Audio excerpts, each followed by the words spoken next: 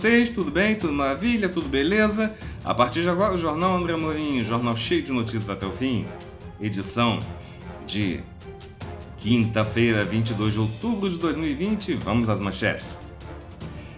Em Campo Grande, no Rio, Benedita Silva, a Bené, diz que vai tirar Crivella do segundo turno. Bandidos sequestram um casal para socorrer traficante ao hospital em Macaé. Fundo financiador diz que o Brasil tem prioridade para receber vacina russa. OPAS afirma que não vai recomendar nenhuma vacina antes do fim dos testes. Entidades e associações do Rio falam em dificuldades sem royalties do petróleo. Brasil é o segundo país que mais aceita a vacina, diz estudo. Plenário do Senado aprova indicação de Cássio Nunes Marques para o STF. Governadores criticam a decisão de Bolsonaro sobre não comprar vacina chinesa.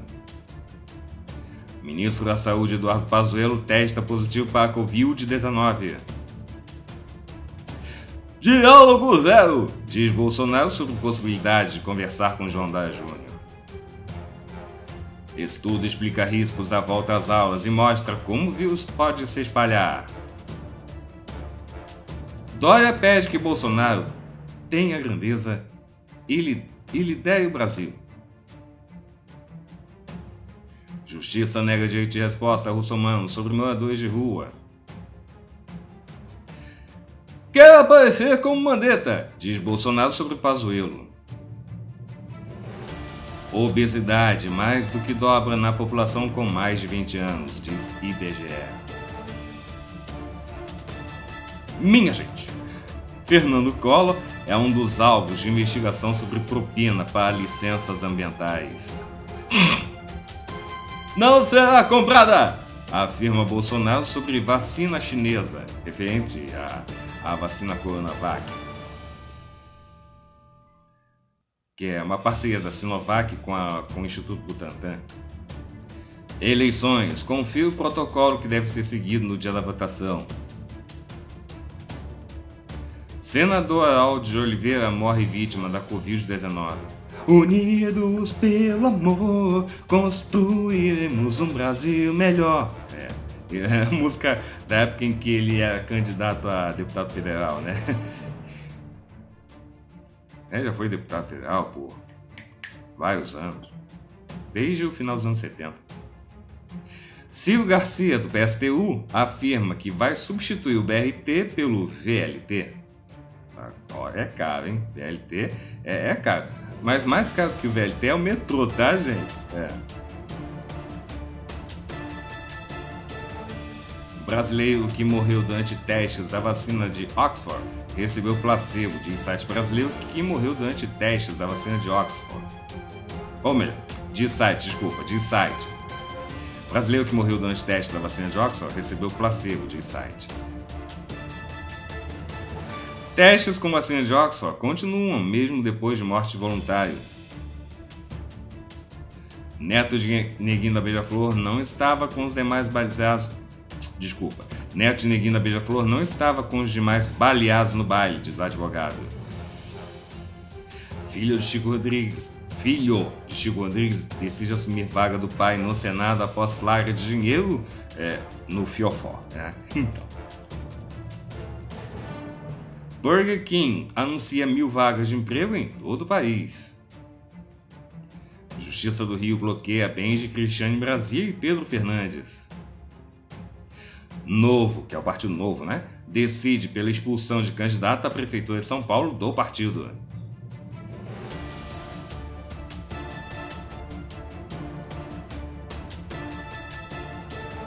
Falsas contas no Instagram se passam é, por canais de atendimento a clientes de bancos.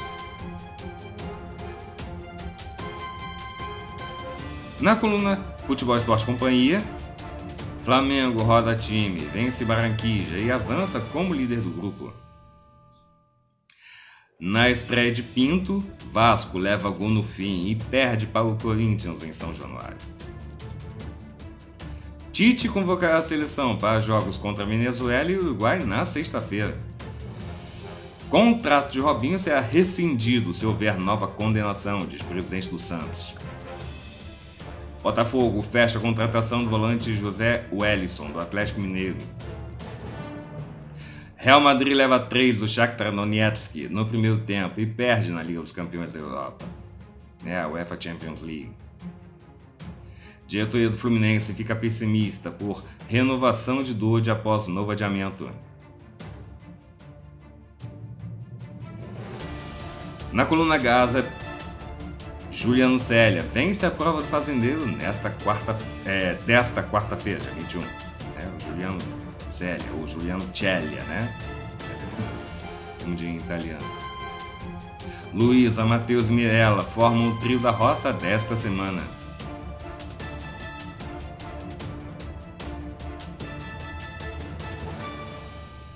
Veja quem votou em quem na sexta formação da roça de A Fazenda 12.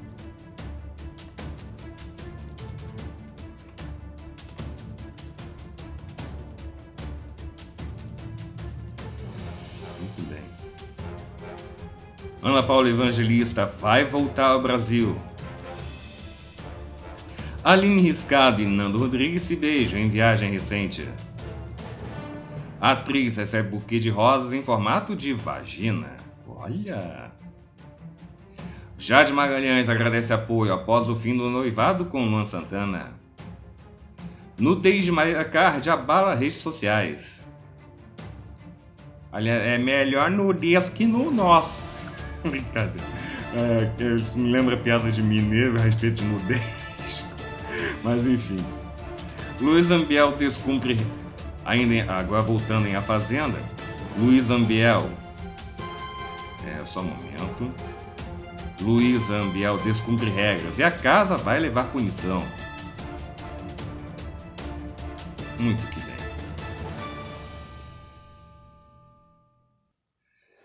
Era filtro. Rafael Portugal prega a peça em fãs com um novo visual. MC Mirella desmaia em A Fazenda.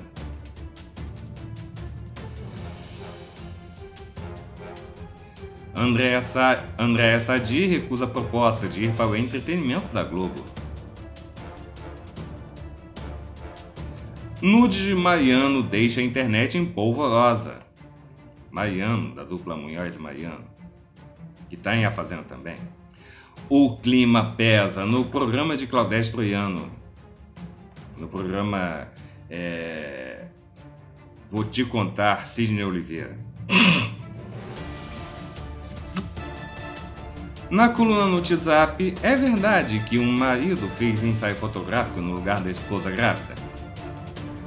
E mais, vídeo mostra uma sereia filmada na Amazônia. Isso é a verdade? E ainda, vídeo mostra um flagrante roubo de moto em plena luz do dia. Vídeo de. Na coluna, no destaque bizarro, vídeo de mulher que deixa bebê cair e salva taça de vinho viraliza. E a última do JA, uma piadinha para animar o seu dia. E o Jornal André Morim começa agora.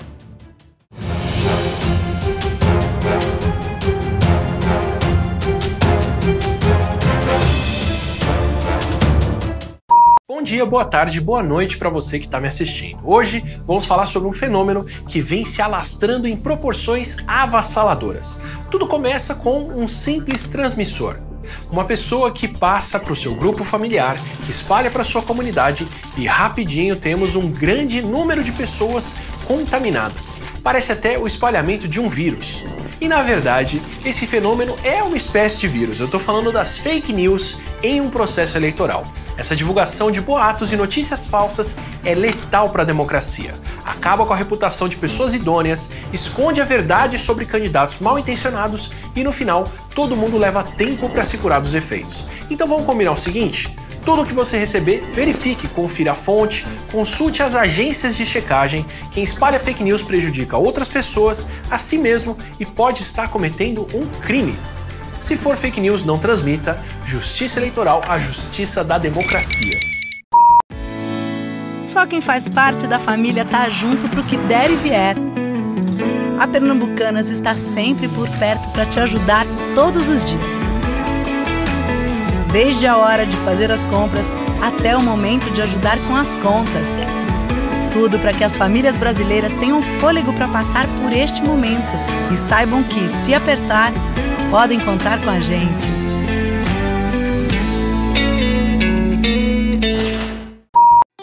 Na dúvida, não compartilhe. Confiança não é algo que se ganha da noite pro dia. É difícil a gente acreditar totalmente nas coisas que um desconhecido fala. Com fontes de informação, também deve ser assim. Receber um link com alguma coisa chocante ou absurda? Cheque. Sempre cheque. Tem alguma coisa de errado com o endereço?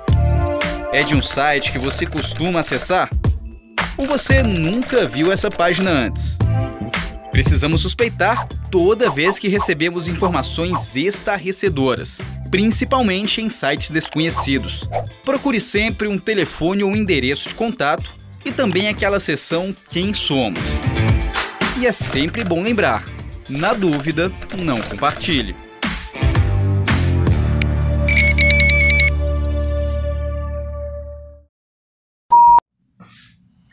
E você aí? É, você mesmo que está me assistindo. Já deu seu like bem gostoso? Não, cara! Dê, dê o seu like. Assim você vai fazer o canal André Amorim crescer ainda mais e fazer o André Amorim ser mais conhecido nas redes sociais e nos meios de comunicação, certo? Ah, já conhece o canal André Amorim? Não? Anota aí, ó. Canal André Amorim. O canal cheio de vídeos até a fim. Certo? Canal André Amorim. Simples assim. Ah, já deu uma badalada no sininho? Blim, blim, blim, blim, blim, blim, blim. Ó, ative o sininho para receber as notificações do nosso jornal André Amorim e dos vídeos aleatórios que eu gravo para vocês que me assistem no canal André Amorim. Tá bom? E agora, as notícias, por favor.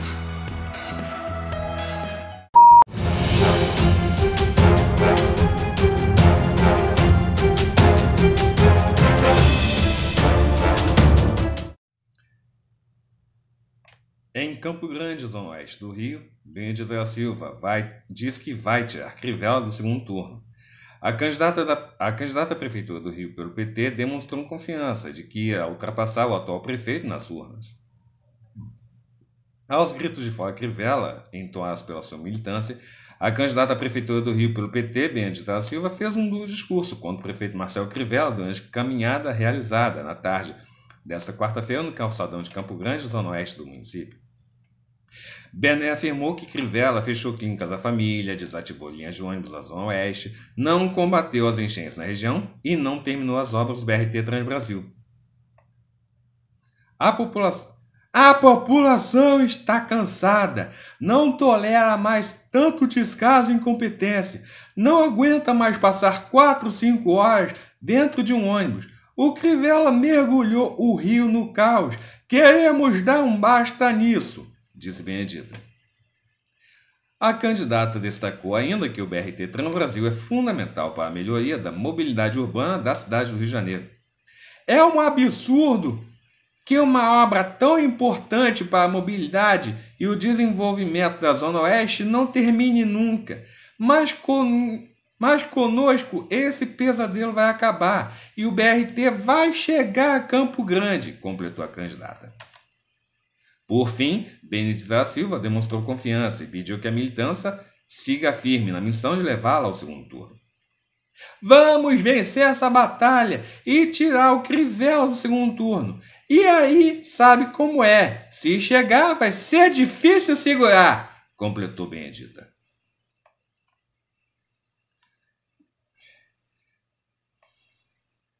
É pena que não, que não repetiram mais aquela música de campanha de 92, né, que a Benedita Silva perdeu para o César Maia no segundo turno, né? Aquela e, e, música também usada no primeiro turno, em 92, que foi assim: O que o Rio quer, Benedita! O que o Rio quer, Benedita! Macaé. Bandidos sequestram um casal para socorrer traficante ao hospital em Macaé. A ação ocorreu durante um confronto entre facções rivais.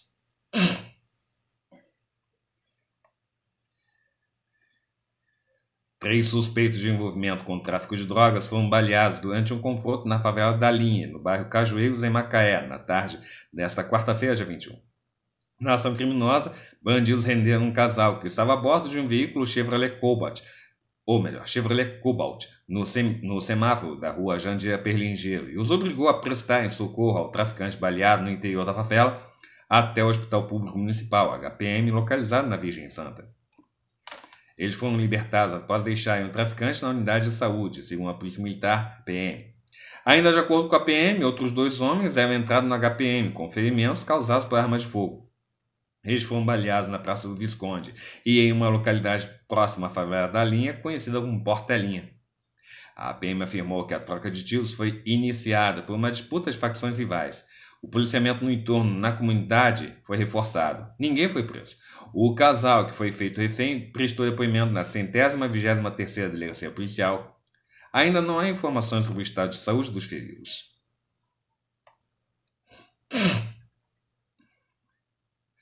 Polícia Civil faz operação contra a rede de farmácias ligada à milícia. A ação foi conduzida em sete bairros da capital fluminense: Campo Grande, Santa Cruz, Cosmos, Paciência, Urucânia, Senador Camará e Madureira. A Polícia Civil realizou nesta quarta-feira, dia 21, uma operação contra a rede de farmácias Cumani, que é uma rede de farmácias irregular em sete bairros da capital fluminense. Campo Grande, Santa Cruz, Cosmos, Paciência, Urucânia, Senador, Camará e Madureira. Segundo as autoridades envolvidas no caso, a rede Drogarias Cumani, atuante em regiões da Zona Oeste e Zona Norte do Rio, além de cidades da Baixada Fluminense, estaria ligada à ação de lavagem de dinheiro da milícia Liga da Justiça, considerada uma das mais famosas do Estado. Ela é chefiada por Wellington da Silva Braga, o ECO, um dos criminosos mais procurados do país.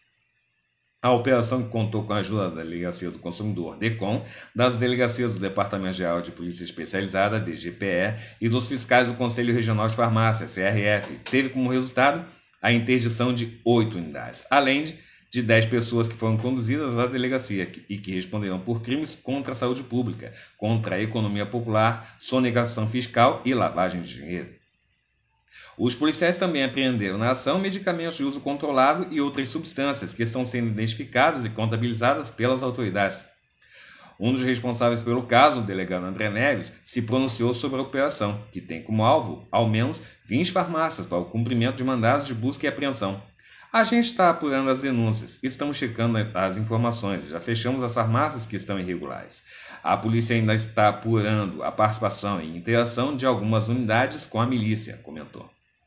A polícia também confirmou que algumas unidades da Cumani faziam parte do esquema, mas ainda não se sabe se toda a rede está envolvida. Alô, Cisne da Ultrafarma, que tal comprar a Cumani, né? E, e trazer para o Rio a, a Ultrafarma popular aqui para o Rio? Hã? Então, Alô, Sidney Oliveira. Abração aí.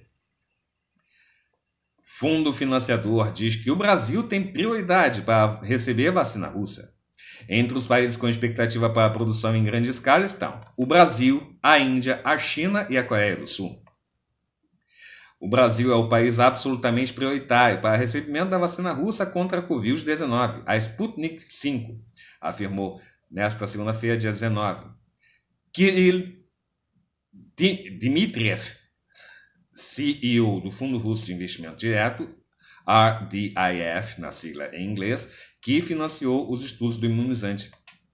A Sputnik V deve começar a ser distribuída em caráter preliminar no país em dezembro de 2020. Segundo Dmitriev, com aplicação em massa nos primeiros meses de 2021. Em pronunciamento voltado à América Latina, o CEO da RDIF apontou que a vacina experimental está em fase de realização de estágios clínicos no Brasil, mas que espera aprovação em breve. A vacina provou 100% de eficácia, garantiu Dmitriev. Uma pequena porcentagem de pessoas pode ter febre, mas até agora não tivemos complicações graves, acrescentou. Brasil, China, Índia e Coreia do Sul são os países em que o RDIF espera produção em grande escala. México e Venezuela foram citados como outros parceiros na região, e Argentina e Peru como alvos de possíveis expansões. OPAS afirma que não vai recomendar nenhuma vacina antes do fim dos testes. A declaração foi também uma resposta depois de Bolsonaro afirmar que não vai adquirir o imunizante chinês que ainda está sendo testado. Em resposta ao anúncio de Jair Bolsonaro de que não iria adquirir vacinas para a Covid-19 produzidas pela China, produzidas pela China, quer dizer, o diretor do Departamento de Doenças Transmissíveis da Organização Pan-Americana de Saúde, OPAS, Marcos Espanhol, afirmou em entrevista coletiva que a OPAS não entra em questões internas dos países e que no momento não há nenhum imunizante recomendado pela organização. Jarbas Barbosa, diretor assistente da entidade, diz que as vacinas na fase 3 de desenvolvimento estão sendo observadas e avaliou ser possível que no primeiro semestre de 2021 elas tenham passado por toda a verificação e estejam disponíveis. A diretora da OPAS, Carissa Etienne, afirmou que a organização apenas vai apoiar uma vacina que tiver passado por todos os processos de testagem e que tenha sido aprovada pela Organização Mundial da Saúde, OMS, a qual tem um processo independente de investigação.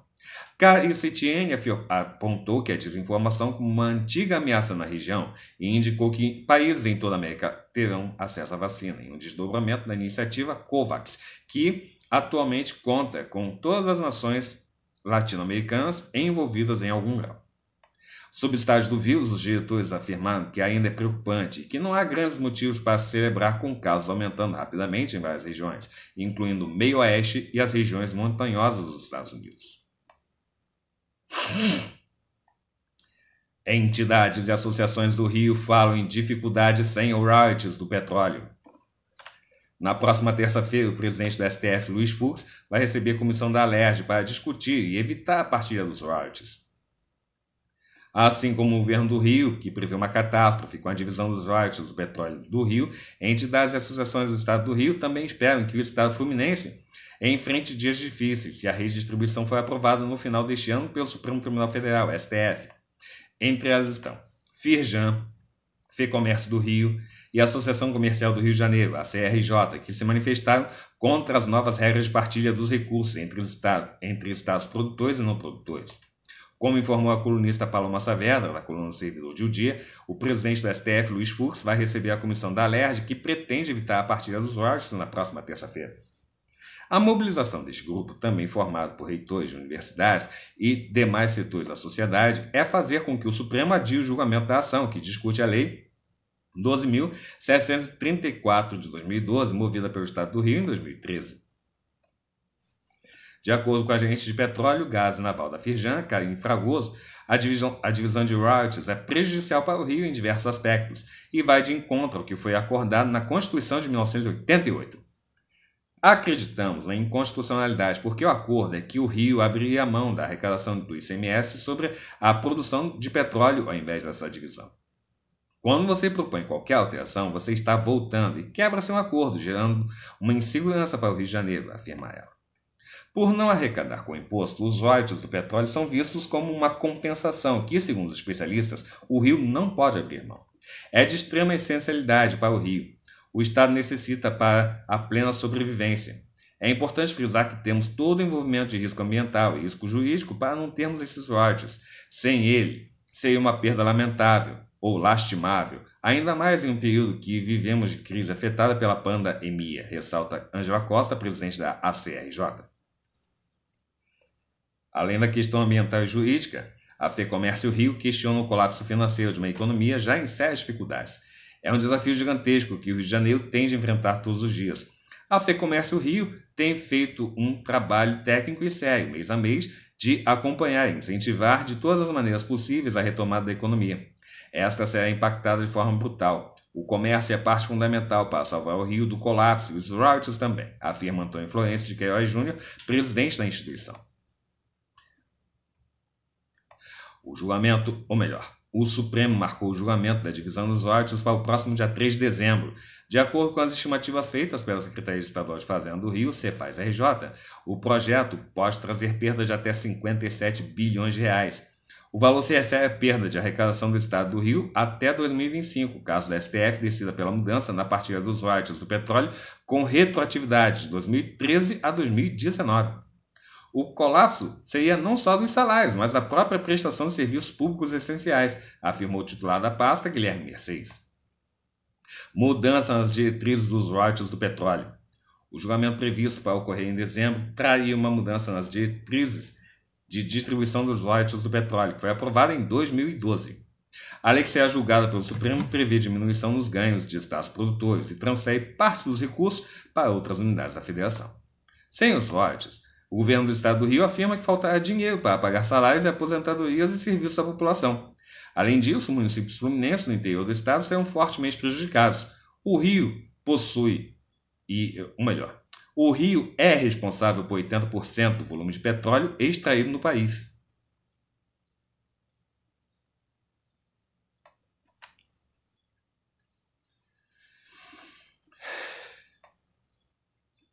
Aliás, não só o Rio, mas como o Espírito Santo também, e, e, e o litoral paulista. É.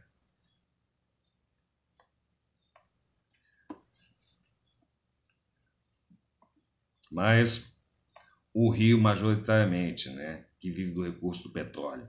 Né? Brasil é o segundo país que mais aceitaria vacina, diz estudo. O levantamento divulgado da Nature, o Nature, envolveu especialistas dos Estados Unidos e da Europa. Eles analisaram as respostas de 13,4 mil pessoas nos 19 países mais atingidos pela pandemia. Estudo publicado na revista Nature revela que 85,3% dos brasileiros estão dispostos a se vacinar contra a Covid-19 se um imunizante comprovadamente seguro e eficaz estiver disponível. O, o percentual brasileiro de aceitação é o segundo mais alto do mundo, fica atrás apenas do da China, onde chega a 88,6%. A informação foi divulgada um dia após o presidente Jair Bolsonaro afirmar que uma futura vacina contra a doença não será obrigatória no país. Nesta quarta, dia 21, o mandatário também descartou comprar o imunizante chinês. Contestou o que adiantara na véspera o ministro da Saúde, Eduardo Pazuello que recentemente contraiu a Covid-19. Daqui a pouco vamos falar do caso.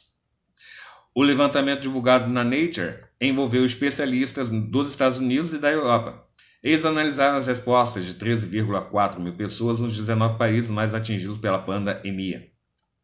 O objetivo era descobrir qual seria a potencial hesitação global diante de uma vacina. Os números gerais mostram que 72% dos entrevistados aceitariam o imunizante, os demais 28% o recusariam ou hesitariam em tomá-lo. Para os especialistas envolvidos, esse percentual de hesitação é, é alto diante de uma emergência global de saúde do porte da Covid-19, sobretudo se o percentual de proteção oferecido pela vacina for baixo. Hoje, segundo a Organização Mundial da Saúde, OMS, Existem mais de 100 potenciais vacinas contra a Covid-19 em desenvolvimento em todo o mundo. Muitas estão em fase final de testes em seres humanos e são pré-negociadas com vários países, inclusive o Brasil. Diante de uma segunda onda de infecção já assolando a Europa, um imunizante eficaz é considerado a maior esperança no, novo, no combate ao novo coronavírus, mas ele precisa ser, ser aceito pela população. Será uma tragédia se conseguirmos desenvolver uma vacina segura e eficiente e as pessoas se recusarem a tomá-la. Precisamos desenvolver um esforço robusto e sustentado para lidar com essa hesitação em relação à vacina e restaurar a confiança do público no benefício das imunizações para as famílias das comunidades, afirmou Scott C. Ratson, coautor do estudo da Escola de Saúde Pública e Políticas Públicas da Universidade de Nova York, Estados Unidos. Nossas descobertas são consistentes com pesquisas recentes nos Estados Unidos que mostram uma redução da confiança do público em uma vacina contra a Covid-19. O percentual mais baixo de resposta positiva para a vacina foi detectado na Rússia, 55%. Nos Estados Unidos, 76% dos entrevistados afirmaram que tomariam imunizante. esse percentual do Brasil não é uma surpresa. Vários outros estudos já mostraram a mesma coisa, afirmou a vice-presidenta da Sociedade Brasileira de Imunizações, Isabela Balalai. O brasileiro confia em vacina, entende que a vacinação é importante. Segundo Isabela, dados recentes de baixa cobertura vacinal no país teriam outras explicações. Só a confiança no imunizante não faz a pessoa se vacinar. Ela precisa ser informada, ter acesso, ser lembrada. Esses são os fatores principais quando falamos em baixa cobertura na América Latina, explicou a especialista. Agora, se continuarmos com essa guerra política, essa desinformação, a vacina de um país contra a vacina de outro país, isso tudo que está acontecendo leva a desconfiança sobre a vacina. É fundamental que a população tenha confiança nas autoridades públicas. Elas não podem estar brigando. Um dos coordenadores do estudo, Ayman El Mohandes, da Escola de Saúde Pública e Políticas de Saúde da Universidade de Nova York, defendeu a necessidade de aumentar a confiança na vacina. Ele também afirmou ser necessário expandir a compreensão das pessoas sobre quanto o imunizante pode controlar a disseminação da Covid-19 em suas famílias e suas comunidades. Na atual pandemia, o ideal seria que os países conseguissem obter a mais alta cobertura vacinal possível contra a Covid-19, como nenhuma vacina foi aprovada, não se sabe ao certo qual será a eficácia do imunizante. Ou seja, ele pode proteger um percentual pequeno de pessoas. Já há candidatas à vacina na fase final de testes, como os da parceria entre o laboratório chinês Sinovac e o Instituto Butantan de São Paulo, e o do projeto da farmacêutica AstraZeneca com a Universidade de Oxford, do Reino Unido da Grã-Bretanha. Plenário do Senado aprova a indicação de Cássio Nunes Marques para o STF. Desembargador ocupa a vaga aberta com a aposentadoria de Celso de Mello. O plenário do Senado aprovou nesta quarta-feira, dia 21, por 57 votos a 10 e uma abstenção, a indicação do desembargador Cássio Nunes Marques do Tribunal Regional Federal da Primeira Região, TRF1, para o Supremo Tribunal Federal, STF. Nunes foi indicado pelo presidente Jair Bolsonaro para ocupar a vaga aberta com a aposentadoria do ministro Celso de Mello, que deixou a corte poucas semanas antes de completar a idade limite para ocupar o cargo de 75 anos. O nome do magistrado foi aprovado na tarde de quarta-feira, na Comissão de Constituição e Justiça, CCJ do Senado, após pouco mais de 10 horas de sabatina. O desembargador respondeu sobre diversos assuntos na CCJ, entre eles a separação dos poderes, ativismo judicial, combate à corrupção, a lava-jato, porte de armas, crime de homofobia, presunção de inocência, entre outros. Durante a sabatina, o magistrado se definiu como um perfil garantista. Para ele, o chamado garantismo judicial significa a aplicação da lei e da Constituição e não pode ser confundido com leniência. Sim, eu tenho esse perfil. O garantismo deve ser exaltado porque todos os brasileiros merecem um direito de defesa. Todos os brasileiros, para chegarem a uma condenação, precisam passar por um devido processo legal. E isso é o perfil do garantismo, que de certa forma pode estar sendo interpretado de uma forma diferente, inclusive com esse intuito do textualismo e o originalismo, argumentou. Segundo Nunes, o garantismo não atrapalha o combate à corrupção ou favorece a impunidade. Não verifico nenhum conflito entre ser um juiz garantista e isso de alguma forma atrapalhar o combate à corrupção. Ao contrário, acho que chegaremos a uma construção muito mais justa ao final e sem margem para a nulidade do processo, completou. Sob a alegação de estar impedido de comentar casos que possa vir a julgar se for confirmado por uma no Supremo, o desembargador, por outro lado, deixou de responder a alguns questionamentos, incluindo temas como a redução da maioridade penal, demarcação de terras indígenas e o inquérito das fake news que tramita no STF sob relatoria do ministro Alexandre de Moraes. Em razão da norma contida no inciso 3 do artigo 36 da Lei da Organização da Magistratura Nacional, LOMAN, eu, na condição de magistrado, não tenho condição de emitir nenhuma opinião sobre o processo que esteja na relatoria de um outro membro do Poder Judiciário, disse o desembargador ao ser questionado sobre as fake news ou notícias falsas.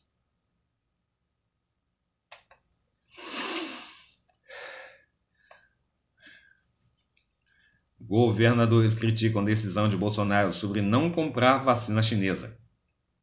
Gestores também reclamaram do uso político e ideológico da decisão do presidente. Após o presidente Jair Bolsonaro afirmar nesta quarta-feira que não comprará a vacina chinesa, governadores criticaram sua fala. Os gestores ainda chamaram atenção sobre o uso político e ideológico da decisão de Bolsonaro. O governador de São Paulo, João Dória Júnior, afirmou que a nossa guerra não é eleitoral, é contra a pandemia, em publicação no Twitter. Eduardo Leite, do Rio Grande do Sul, também reclamou na rede social. A decisão sobre a inclusão de uma vacina no Programa Nacional de Imunizações deve ser eminentemente técnica e não política. Entendo o caso. Na terça-feira, o Ministério da Saúde anunciou a negociação para a compra de 46 milhões de doses da Coronavac, vacina contra a Covid-19 desenvolvida pela farmacêutica chinesa Sinovac em parceria com o Instituto Butantan. No entanto, na manhã de, de quarta-feira, o presidente negou que vai comprar a vacina chinesa. Ainda na manhã de quarta-feira, o secretário executivo do Ministério da Saúde, Elcio Franco, reforçou que não há intenção de comprar vacinas chinesas. A Coronavac está na última fase de testes e, segundo o Butantan, a pesquisa mostra que o imunizante é o mais seguro entre todos os que estão em fase final de testes no mundo, por apresentar o menor índice de efeitos colaterais.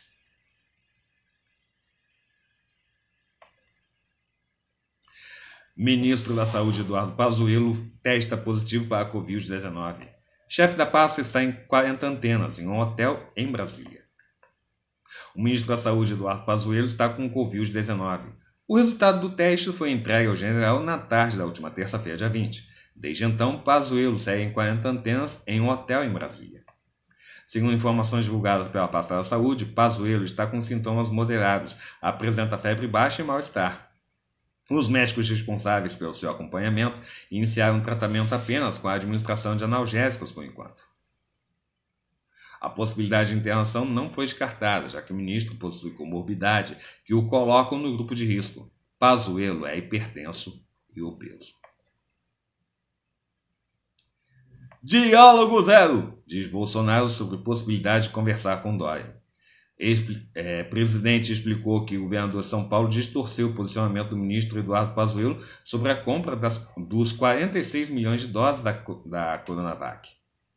O presidente Jair Bolsonaro, que atualmente está sem partido, garantiu que não há nenhuma possibilidade de conversar com o governador João Dara Júnior. Diálogo zero, afirmou. Eu não converso com uma pessoa que usou meu nome nas eleições e poucos meses depois começou a me atacar, visando me desgastar e assim atrapalhar a política brasileira. Tudo isso pensando nas futuras eleições. Não dá para conversar com esse tipo de gente que não tem qualquer responsabilidade com a vida do próximo, declarou o presidente.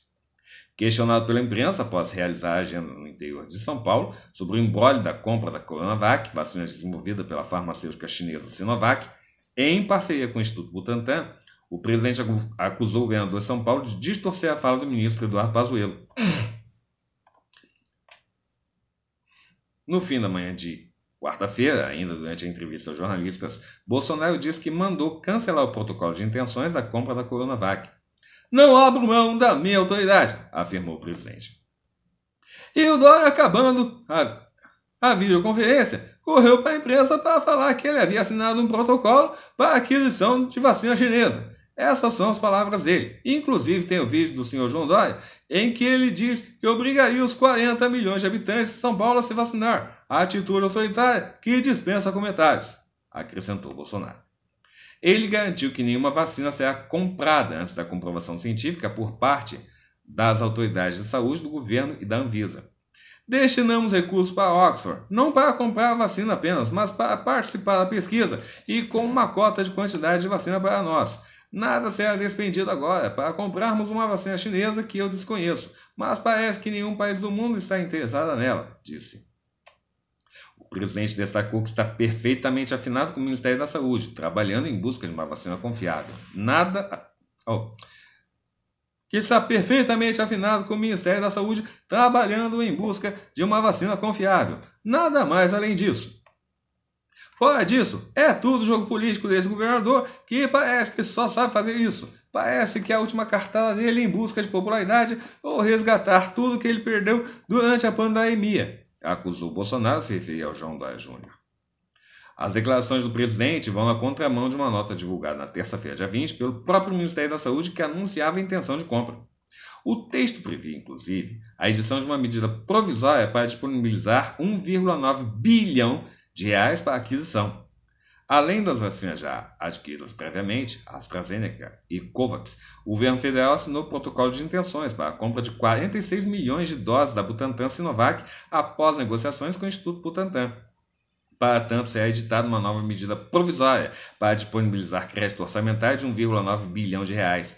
O Ministério da Saúde já havia anunciado também um investimento de 80 milhões de reais para a ampliação da estrutura do Butantan, o que auxiliará na produção da vacina, diz o texto de terça-feira.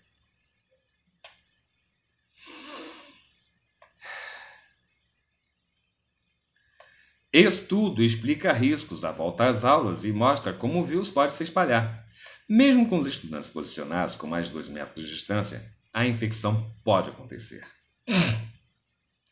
Em meio à incerteza em todo o mundo sobre o risco de reabrir escolas, um estudo publicado na na quarta na na, na terça-feira, quarta-feira, sei lá, indicou o caminho da contaminação em uma sala de aula. Por simulação computacional, a pesquisa apontou que, mesmo com distâncias de mais de 2 metros entre os estudantes, partículas minúsculas suspensas no ar podem circular entre eles. Mídias como abrir janelas e instalar barreiras de vidro ou acrílico nas carteiras são capazes de reduzir os riscos. Conduzida por cientistas da Universidade do Novo México, nos Estados Unidos, a simulação considera uma sala com janelas e um sistema de ar-condicionado central que filtra e faz a renovação do ar, algo incomum no Brasil, onde se vê o sistema comum de refrigeração. No modelo estudado, até a posição do aluno na classe tem influência na quantidade de partículas que ele recebe. Em julho, a Organização Mundial da Saúde, OMS, reconheceu o risco de transmissão do novo coronavírus pelo ar. Isso significa que, além do contato com superfícies contaminadas ou com ou com gotículas de saliva, é possível ter contato com o vírus por partículas que ficam suspensas, os aerossóis, e podem ser carregadas por corrente de ar. Essas podem permanecer no ambiente por algumas horas, o que eleva a preocupação com lugares fechados. O papel da contaminação por aerossóis no, no total de infecções ainda não está bem descrito. Os pesquisadores fizeram análise considerando uma sala de aula de 81 metros quadrados de área e 3 metros de altura. Pelo modelo, os alunos estão dispostos em três fileiras, com o professor à frente, mesmo a uma distância de 2,4 metros entre os alunos, superior à adotada em escolas brasileiras. Os especialistas verificaram que pode ocorrer o transporte de partículas de um estudante para outro, o que, indica a necessidade de adaptação das salas, uso de máscaras e higienização das mãos. Mesmo com nove estudantes na sala e 2,4 metros de distância entre eles, aerossóis são transmitidos em quantidades significativas entre estudantes e de um estudante para a mesa de outro, indica o trabalho publicado nesta terça-feira na revista é, Physics of Fluids, no Instituto Americano de Física. Partículas liberadas por um aluno podem ficar, por exemplo, sobre o caderno ou estojo de outro, o que, segundo os autores, eleva a necessidade de higienização constante das mãos, mesmo que não se tenha tocado nos pertences dos colegas. O risco de contaminação diminui se as janelas da sala de aula forem abertas. De acordo com a simulação computacional, abrir as janelas, mesmo com o ar-condicionado ligado, aumenta a fração de partículas que saem da sala em 38%, em comparação com o modelo de janelas fechadas. Também reduz a deposição de aerossóis nos estudantes em 80%. Já o uso de barreiras nas carteiras, como as telas de vidro ou de acrílico, pode ser ainda mais eficiente. Elas não são capazes de blindar por completo os estudantes, mas chegam a reduzir em 92% a transmissão de aerossóis de um micron, que é a milésima parte do milímetro. No modelo estudado e considerando o sistema de ar-condicionado central da sala de aula, o aluno posicionado no meio da sala transmite mais partículas. Já aqueles localizados nos cantos de trás do espaço seriam mais poupados dessas partículas. Segundo os autores, essas informações podem ser levadas em consideração na hora de planejar o posicionamento dos alunos. No modelo descrito, seria interessante, por exemplo, eliminar a posição do estudante do centro e colocar estudantes do grupo de risco nos cantos. A pesquisa não considerou necessariamente que os estudantes estivessem usando máscara, mas os resultados se aplicariam para ambos os cenários, segundo os autores. As máscaras têm duas principais funções: prendem algumas das partículas isoladas e potencialmente inaláveis e diminuem a velocidade do ar exalado que contém partículas de aerossol. Não presumimos especificamente que os alunos estejam usando máscaras, mas isso não afeta de forma significativa a aplicabilidade do estudo, explicou o Estadão Khaled Talaat, do Departamento de Engenharia Nuclear da Universidade do Novo México, nos Estados Unidos. Os pesquisadores afirmam ainda que mais estudos são necessários e os números obtidos se referem ao modelo de sala de aula considerado. No entanto, os resultados podem ser qualitativamente aplicados para outras salas de aula. Brasil. Parte das escolas particulares de São Paulo contratou assessores de hospitais para elaborar seus protocolos de retomada. E há uma indicação geral de que as escolas desliguem o ar-condicionado e abram janelas e portas. Pesquisa da Confederação Nacional dos Municípios, CNM, indicou que 3.275 municípios brasileiros ainda não vêem condições sanitárias para retomar as aulas presenciais na rede básica de ensino neste ano. O número equivale a 82% das prefeituras consultadas. Segundo o presidente da entidade, Vladimir Harold, até mesmo o clima é considerado nessa decisão. Na flexibilização de um bar, vai a um bar quem acha que pode ir. Na escola, quando abrir, você faz com que os alunos acabem frequentando, permaneçam por um período longo e voltem para casa, convivam com os pais, os avós. É uma situação mais complexa. Em algumas regiões, precisa do ar-condicionado ligado o tempo todo, disse ele.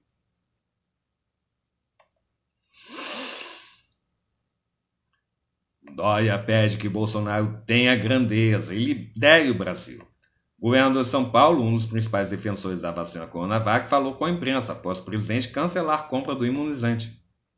O governador de São Paulo, João Dória Júnior, do PSDB, conversou com a imprensa na manhã desta quarta-feira, 21, sobre o cancelamento do acordo de compra da vacina Coronavac, anunciada, anunciada na terça-feira pelo Ministério da Saúde. Peço a compreensão do presidente Jair Bolsonaro para compreender que seu ministro da Saúde agiu corretamente priorizando a vida dos brasileiros, disse o governador. Apesar de confirmado na noite de, de terça-feira, dia 20, o acordo sobre a vacina foi desfeito esta manhã pelo presidente Bolsonaro.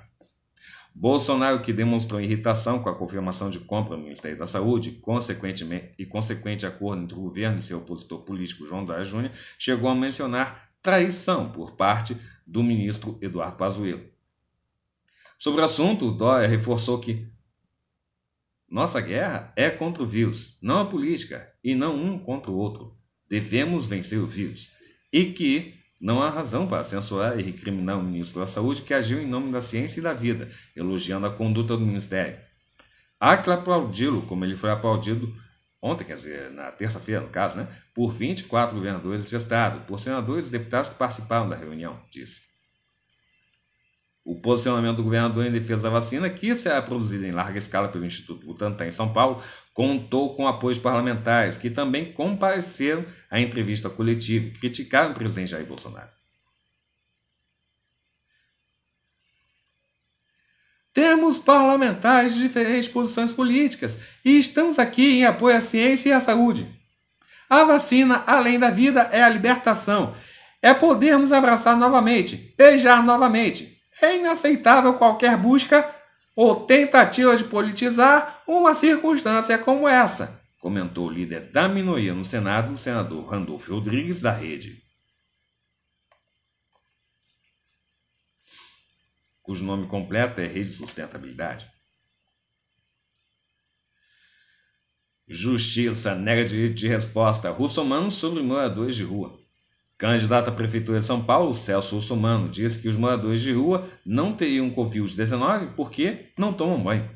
Vai vendo.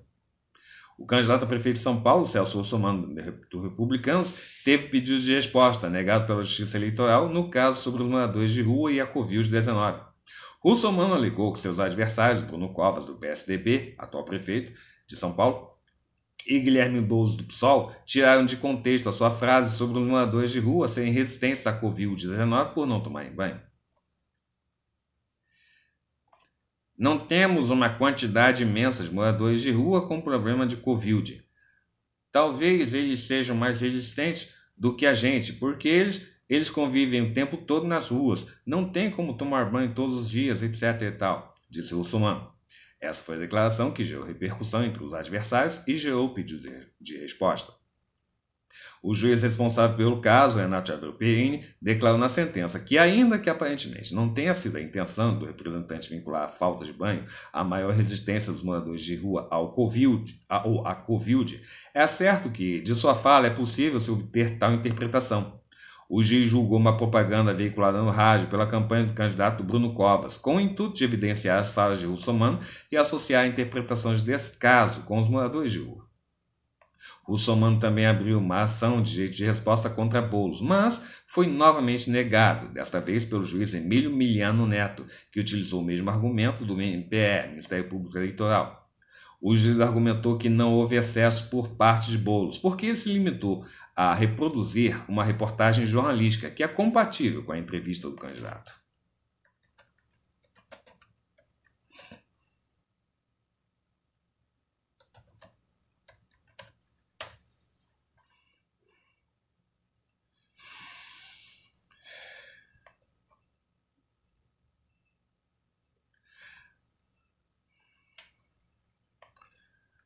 Muito bem. Eduardo Paes tem bens bloqueados pelo Tribunal de Justiça do Rio em processo que apura irregularidades em licitação de ônibus. Indisponibilidade de bens chega a 240,3 milhões de reais e envolve ex-subsecretário de Educação e o Sindicato Rio Ônibus. Candidato tem patrimônio declarado de 478,3 mil reais. O ex-prefeito do Rio e candidato ao cargo pelo Democratas, Eduardo Paes, teve os bens bloqueados pelo Tribunal de Justiça, TJ do Rio, por um processo sobre irregularidades em uma licitação de linhas de ônibus. A indisponibilidade de bens de Paes, determinada pelo desembargador Gilberto Matos, da 15ª Câmara Civil, envolve ainda Paulo Roberto Santos Figueiredo, que foi subsecretário de gestão da Secretaria Municipal de Educação durante a gestão político, e também o Sindicato das Empresas de Ônibus do Rio, Rio Ônibus. O montante, é, o montante bloqueado é de 240,3 milhões de reais será recolhido pela Justiça entre as três partes em questão, até que o valor seja atingido. O bloqueio autorizado em decisão liminar é equivalente a uma parcela do orçamento da educação municipal que a gestão de paz utilizou em favor do Rio Ônibus de consórcio do setor. O objetivo era cobrir o custeio de gratuidades concedidas a alunos da rede pública no transporte coletivo. O Ministério Público, MP do Rio, entendeu, no entanto, que houve dano às finanças da cidade, porque as empresas, além de receber o dinheiro da prefeitura, também cobraram os consumidores pelas gratuidades, embutindo o valor delas na tarifa. Houve, na visão dos promotores, uma dupla oneração e um enriquecimento sem causa das empresas, sobretudo nos anos 2015 e 2016.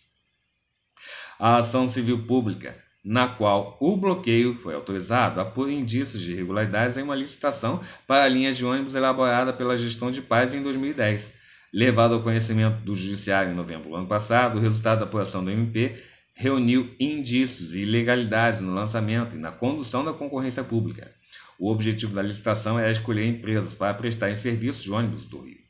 Para os promotores, foram violadas a livre concorrência, a obrigatoriedade e a impessoalidade do processo com o objetivo de garantir que empresas contratadas há décadas pudessem ser novamente escolhidas pela administração pública. Em um vídeo de um minuto publicado nas redes sociais, Paz comentou a decisão judicial. Sempre, bus... Sempre busquei garantir uniforme, merenda, material escolar e passagem gratuita para as crianças nos ônibus do município. Isso pode ser feito de duas maneiras ou você aumenta o preço da passagem que o trabalhador paga todo dia para usar os ônibus, ou a prefeitura faz o ressarcimento às concessionárias, explicou Paz, finalizando. Hoje tive meus bens bloqueados pela justiça por esse motivo. Garanti a gratuidade das passagens de ônibus para 600 mil crianças, as mais pobres do município. Tenho certeza que, com os devidos esclarecimentos, essa decisão judicial vai ser modificada. Procurada pelo O Globo. Opa! Procurada pelo O Globo antes da divulgação dessa mensagem, a assessoria de Eduardo Paes afirmou que o candidato segue acreditando na justiça e avalia que a decisão desta terça-feira será revogada após os devidos esclarecimentos. A equipe destaca também que o processo não possui acusações de corrupção e que o Tribunal de Contas do município, TCM, examinou e rejeitou questionamentos sobre a licitação em questão. O texto afirma ainda que o processo se baseia em um relatório elaborado por adversários políticos de, pai, de Dudu Paes, que se utilizam politicamente da justiça para prejudicá-lo. Em 2016, outro bloqueio já havia sido imposto aos bens de paz pela Justiça, daquela vez no caso do campo de golfe olímpico, construído na Barra da Tijuca. Em 2019, no bloqueio teve como pano de fundo uma suposta fraude em licitação para serviços de saúde prestados na Jornada Mundial da Juventude em 2013. Os dois processos tiveram desfechos favoráveis à paz. Ele foi absolvido do primeiro e o segundo não foi levado adiante, porque não houve, conforme avaliou a Justiça, prejuízo aos cofres públicos. Nesta terça-feira, a segunda turma especializada do Tribunal Regional Federal do Rio, TRF2, também negou pedido do ex-prefeito para trancar a ação, em que é acusado de corrupção passiva, fraude à licitação e falsidade ideológica no processo de licitação das obras do Parque Olímpico de Deodoro para a Olimpíada de 2016. Bloqueio de 511,7 milhões de reais a empresas. Além de Dudu Paes, do secretário de Educação e do Rio Ônibus, o TJ do Rio, também determinou a disponibilidade de bens de 511,7 milhões de reais de quatro consórcios de ônibus, Intersul, Internorte, Transcarioca e Santa Cruz, e de quatro empresas do ramo, Real Auto Ônibus, Viação Nossa Senhora de Lourdes, que é aqui pertinho, né, na Penha, na Penha Circular, né, Viação Redentor e Expresso Pegasus. Neste caso, o bloqueio determinado chega a 511,7 milhões de reais. O valor, afirma o MP, é referente às receitas que as empresas tiveram ao receberem duplicidade pelas gratuidades concedidas aos estudantes da rede pública. O Globo revelou que em 2015, o Globo revelou em 2015 que as empresas estavam embutindo na tarifa de ônibus as gratuidades destinadas aos alunos da rede municipal. O contrato de concessão não previa esse repasse. Em junho daquele ano, o TCM chegou a determinar que, que o Dudu Paz reduzisse em 0,130 e 31 reais o valor da passagem, que na época estava em R$ 3,40, o custo hoje é de R$ 4,05. No plenário da corte, entendeu naquela ocasião que é socialmente injusto os usuários pagantes arcarem com um valor maior para subsidiar as gratuidades dos estudantes da rede pública de ensino. Não havia prazo para a medida entrar em vigor, porque o prefeito ainda podia recorrer da decisão. Se a determinação fosse, tivesse sido acatada na época, a tarifa poderia ter caído até 15 centavos, chegando a R$ 3,25, porque o município costuma arredondar valores. Os questionamentos do TCM tomavam como base o artigo 403 da Lei Orgânica do Município, que previa o transporte gratuito dos estudantes. Antes de incluir as gratuidades nos coletivos, Dudu Pai chegou a contratar os consórcios para fazer uma espécie de controle de frequência dos alunos por mais de 50 milhões de reais na época, setores da prefeitura chegaram a considerar que essa seria uma forma de Dudu Paz de ressarcir as empresas pelos estudantes. Dudu Paz organizou em 2010 a primeira licitação dos serviços de ônibus do Rio. No entanto, apenas as empresas que já integravam o sistema disputaram a concorrência. Grupos de fora do Rio que chegaram a se interessar pelo certame desistiram de participar e criticaram prazos exíguos para cumprir exigências do edital, inclusive da implantação do bilhete único. O TCM chegou a levantar suspeitas de cartel entre as empresas, mas depois mudou de opinião. A concessão dividiu a cidade em quatro regiões: Zona Sul, Zona Oeste, Zona Norte e Barra da Tijuca, Jacarepaguá e Recreio dos Bandeirantes. Os consórcios foram autorizados a implantar um serviço em comum para viabilizar as linhas BRTs, que não foram licitadas.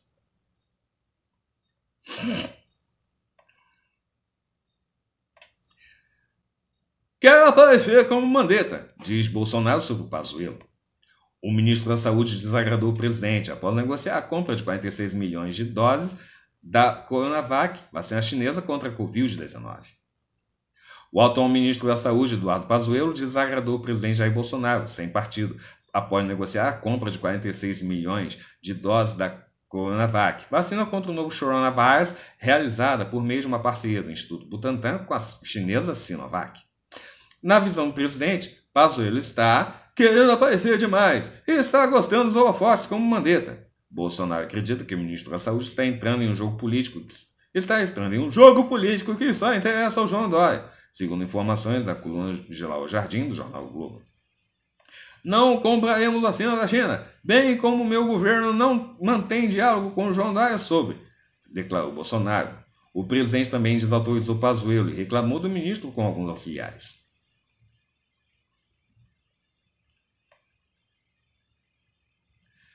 Obesidade mais do que dobra na população com mais de 20 anos, diz IBGE. A proporção passou de 12,2% para 26,8% entre 2003 e 2009 e 2019, perdão. Entre 2003 e 2019, a proporção de obesos na população com 20 anos ou mais de idade do país mais do que dobrou, passando de 12,2% para 26,8%. No período, a obesidade feminina passou de 14,5% para 30,2% e se manteve acima da masculina, que subiu de 9,6% para 22,8%. Já a proporção de pessoas com excesso de peso. Na... Bom, vamos continuar. É, já a proporção de pessoas com excesso de peso na população com 20 anos ou mais de idade subiu de 43,3% para 61,7% nos mesmos 17 anos. Entre os homens foi de 43,3% para 60% e entre as mulheres de 43,2% para 63,3%. Os dados constam do segundo volume da Pesquisa Nacional de Saúde 2019 e foram divulgados na quarta-feira, no Rio de Janeiro, pelo Instituto Brasileiro de Geografia e Estatística, IBGE. Em 2019, uma em cada quatro pessoas de 18 anos ou mais de idade no Brasil estava obesa, o equivalente a 41 milhões de pessoas. Eram 29,5% das mulheres e 21,8% dos homens. Já o excesso de peso atingia 60,3% da população de 18 anos ou mais de idade, o que corresponde a 96 milhões de pessoas, sendo 62,6% das mulheres e 57,5% dos homens. O excesso de peso também ocorria em 19,4% dos adolescentes, de 15 a 17 anos de idade, o que corresponde a um total estimado em 1,8 milhões de pessoas, sendo 22,9% de moças e 16% dos rapazes. A obesidade atingia 6,7% dos adolescentes, 8% no sexo feminino e 5,4% no sexo masculino. Para a responsável pela pesquisa, analista Flávia Vinhais, as causas para o excesso de peso e a obesidade são a baixa qualidade da alimentação do brasileiro e a escassez de atividades físicas. Faltam políticas públicas estruturadas de combate à obesidade e ao excesso de peso, como o incentivo à ingestão de alimentos saudáveis e a prática esportiva, indica. É considerado como excesso de peso o índice de massa corporal, IMC, maior que 25. A pessoa obesa tem o IMC maior que 30. O IMC é calculado pelo peso em quilograma dividido pelo quadrado da altura em metro. Segundo o IBGE, a prevalência de déficit de peso em adultos com 18 ou mais anos de idade foi de 1,6%, 17% para homens e 1,5% para as mulheres. Melhor, 1,7% para homens e 1,5% para mulheres, ficando, portanto, bem abaixo do limite de 5% fixado pela Organização Mundial da Saúde, OMS, como indicativo de exposição da população adulta à desnutrição. A atenção primária à saúde.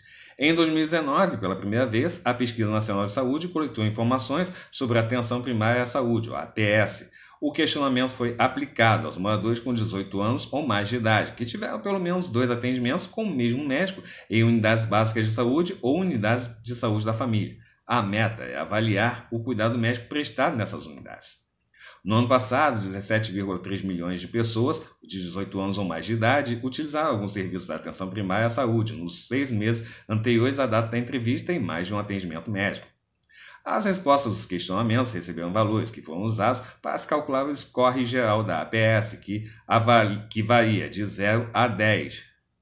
Ou melhor, o score geral da APS, que, va que varia de 0 a 10. Segundo o IBGE, um score igual ou superior a 6,6 aponta excelente qualidade de atenção primária à saúde.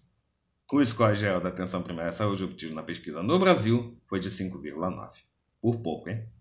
Para o IBGE, um resultado abaixo de 6,6 significa baixa classificação e revela serviços com baixa presença de atributos da APS, como a facilidade para utilizar os serviços de saúde, a regularidade dos serviços de saúde e a relação humanizada entre equipes de saúde e pacientes, a capacidade de garantir a continuidade da atenção ao paciente, a orientação familiar e comunitária.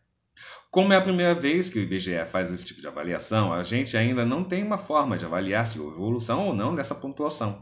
A gente agora está trabalhando numa linha de base, que é esse 5,9, disso é responsável pela pesquisa. Pontuação. Ao todo, 69,9% das pessoas de 18 anos ou mais de idade que utilizaram algum serviço da atenção primária à saúde nos últimos seis meses anteriores à data da entrevista eram mulheres. 60,9% das pessoas eram negras ou pardas. 65% eram cônjuges. E 35,8% 40 a 59 anos de idade. Os homens pontuaram a APS com 5,9 e as mulheres com 5,8. Entre os mais jovens, 18 a 39 anos, o score ficou em 5,6 e entre os mais velhos, 60 anos ou mais de idade, 6,1. No país, 53,8% dos usuários de APS não tinham uma ocupação, sendo que 64,7% tinham renda domiciliar per capita inferior a um salário mínimo e 32,3% e se inseriram na faixa de 1, de 1 a 3 salários mínimos. As pessoas não ocupadas pontuaram 5,9 e as ocupadas 5,8. das pessoas de 18 anos ou mais de idade que se consultaram com o mesmo médico pelo menos duas vezes em unidades públicas de saúde nos seis meses anteriores à entrevista, 94,4% não tinham plano de saúde. Sua avaliação dos atributos da APS teve nota 5,9%. Os moradores cujos domicílios eram cadastrados na unidade de saúde atribuíam score geral de 6. Já os moradores de lares não cadastrados avaliaram a APS com score geral de 5,5. Entre aqueles que receberam pelo menos uma visita de algum agente comunitário ou membro da equipe de saúde, o score foi 6,1. E para os que nunca receberam qualquer visita destes profissionais, o score foi de 5,7. No Brasil, o motivo mais frequente da procura por atendimento médico foi doença ou outro problema de saúde ou continuação de tratamento, 52,5%, vindo a seguir exames periódicos, 40,2%.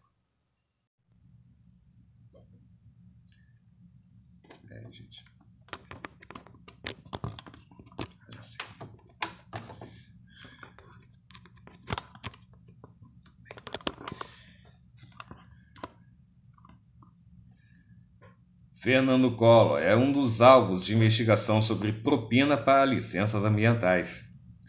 Operação O Quinto Alvo, o quinto ato, tem 12 mandados de busca e apreensão. A Polícia Federal deflagrou na manhã de quarta-feira, dia 21, a Operação O Quinto Ato para investigar suposto esquema criminoso mantido entre 2014 e 2015, que envolvia pagamento de propinas para intervenção junto ao IBAMA, visando a liberação da licença ambiental de instalação do Porto Pontal Paraná Importação e Exportação SA no Paraná. O senador Fernando Collor está entre os alvos da ofensiva.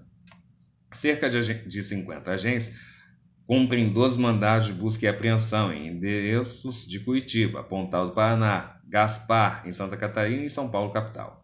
As ordens foram expedidas pelo Supremo Tribunal Federal, STF, que determinou ainda o bloqueio de valores dos investigados. Segundo apurado pelo Estadão, o endereço ligado à cola em São Paulo é alvo de busca da operação.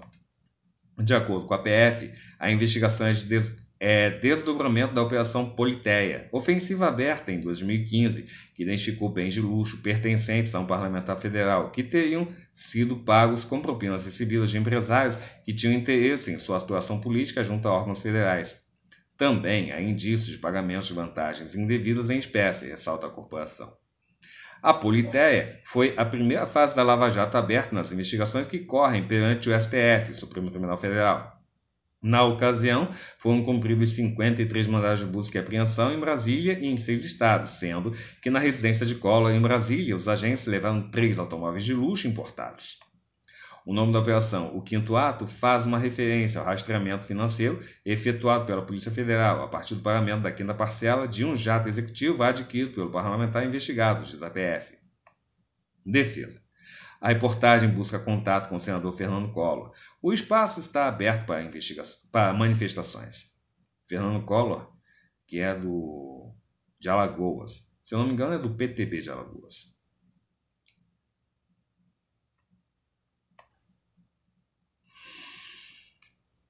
Não será comprada, afirma Bolsonaro sobre vacina chinesa. Presidente desmente anúncio feito pelo Ministério da Saúde. Nesta terça-feira, a pasta divulgou que compraria 46 milhões de doses da Coronavac. O presidente Jair Bolsonaro afirmou nesta quarta-feira, 21, que a vacina contra o novo coronavírus produzida na China não será comprada pelo governo brasileiro. A mensagem foi publicada no Facebook em resposta a um comentário crítico ao anúncio do Ministério da Saúde que tem a intenção de adquirir 46 milhões de doses da Coronavac, vacina da farmacêutica chinesa Sinovac, que será produzida pelo Instituto Butantan de São Paulo. Presidente, a China é uma ditadura. Não compre essa vacina, por favor. Eu só tenho 17 anos e quero ter um futuro, mas sem interferência da ditadura chinesa, comentou um usuário do Twitter. O presidente respondeu: Não será comprada em caixa alta. Outro usuário que diz para o presidente exonerar o ministro da Saúde, Eduardo Pazuello, urgente, porque ele estaria sendo cabo eleitoral do governador de São Paulo, João Dória, do PSDB. Bolsonaro respondeu que tudo será esclarecido hoje, quer dizer, na, na quarta-feira, no caso, né? Não compraremos a vacina da China, voltou a dizer em caixa alta. Vai vendo. Na terça-feira, o Ministério da Saúde assinou um protocolo de intenções para adquirir 46 milhões de doses da Coronavac, o acordo foi fechado durante a reunião do ministro Pazuello com governadores. A vacina do Butantan será a vacina do Brasil, disse Pazuello ao anunciar o acordo, depois de atriz com o governador de São Paulo, João Dória, do PSDB, ex-aliado. Há outro usuário que diz que Pazuello os traiu ao comprar a vacina chinesa e diz que o presidente se enganou mais uma vez. Bolsonaro afirmou que qualquer coisa publicada sem qualquer comprovação vira traição. Vai vendo. Ele disse assim: qualquer coisa publicada sem qualquer comprovação vira traição. Meu Pai dos céus. Eleições. Confira o protocolo que deve ser seguido no dia da votação. As medidas foram elaboradas pelo Tribunal Superior Eleitoral, TSE. Os eleitores brasileiros vão retornar às urnas em novembro para eleger prefeitos, vice-prefeitos e vereadores e devem tomar os cuidados necessários para evitar a contaminação pela Covid-19. O Tribunal Superior Eleitoral, TSE, elaborou uma série de medidas que devem ser respeitadas nos dias do pleito. Os eleitores só poderão entrar nos locais de votação se estiverem usando máscaras. O uso deverá ser feito em todo o percurso, até chegar à sessão eleitoral. Não será permitido se alimentar, beber ou realizar qualquer ato que exija a retirada da máscara. As mãos deverão ser higienizadas com álcool em gel antes e depois de votar. O produto será disponibilizado nos locais de votação. O TSE recomenda que o eleitor leve sua própria caneta para assinar o caderno de votação. A distância de um metro entre as demais pessoas que estiverem na sala também deverá ser mantida. Serão feitas marcações no chão com adesivos para indicar o distanciamento correto. O processo de identificação por biometria não será usado nas eleições deste ano para evitar a contaminação. A Justiça Eleitoral recomenda que os eleitores que estiverem com sintomas de Covid-19 não devem comparecer ao local de votação. A justificativa de falta não será feita presencialmente para evitar aglomerações. Pelo aplicativo e-título, que pode ser usado em qualquer smartphone, será possível fazer a justificativa sem sair de casa. O horário de votação. O tempo da votação foi ampliado em uma hora neste ano. As sessões ficarão abertas é, das 7 da manhã às 5 horas da tarde. Das 7 da manhã às 10 horas da manhã, será mantido um horário preferencial para que pessoas com mais de 60 anos possam votar. Nas eleições passadas, a votação começava às 8 da manhã e terminava às 5 horas da tarde. Dia da votação. O TSE elaborou um passo a passo sobre a movimentação que deve ser feita pelo, eleitor dentro da sessão de votação. O fluxo será orientado pelos mesários. Primeiro, o eleitor entrará na sessão eleitoral e deverá se posicionar na frente do mesário, seguindo o distanciamento de um metro, conforme marcação no chão. Segundo, sem contato com o mesário, o eleitor vai erguer o braço e mostrar seu documento oficial com foto. Terceiro, o mesário vai ler o nome do eleitor em voz alta e pedir que ele confirme se a identificação está correta. Quarto, o eleitor deve guardar seu documento. Quinto, o eleitor deverá higienizar as mãos com álcool em gel que será disponibilizado.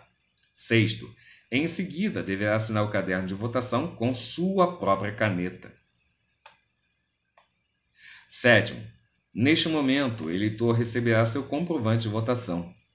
Oitavo, o eleitor será autorizado pelo mesário para ir até a cabine de votação. Nono, o eleitor deverá digitar o número de seus candidatos na urna eletrônica e apertar a tecla confirma após cada voto para encerrar a votação. 10. O eleitor deverá higienizar as mãos novamente com álcool em gel e deverá se retirar da sessão eleitoral. Devido à pandemia de Covid-19, o Congresso promulgou a emenda constitucional que adiou o primeiro turno das eleições deste ano de 4 de outubro para 15 de novembro. O segundo turno, que seria em 25 de outubro, foi marcado para 29 de novembro.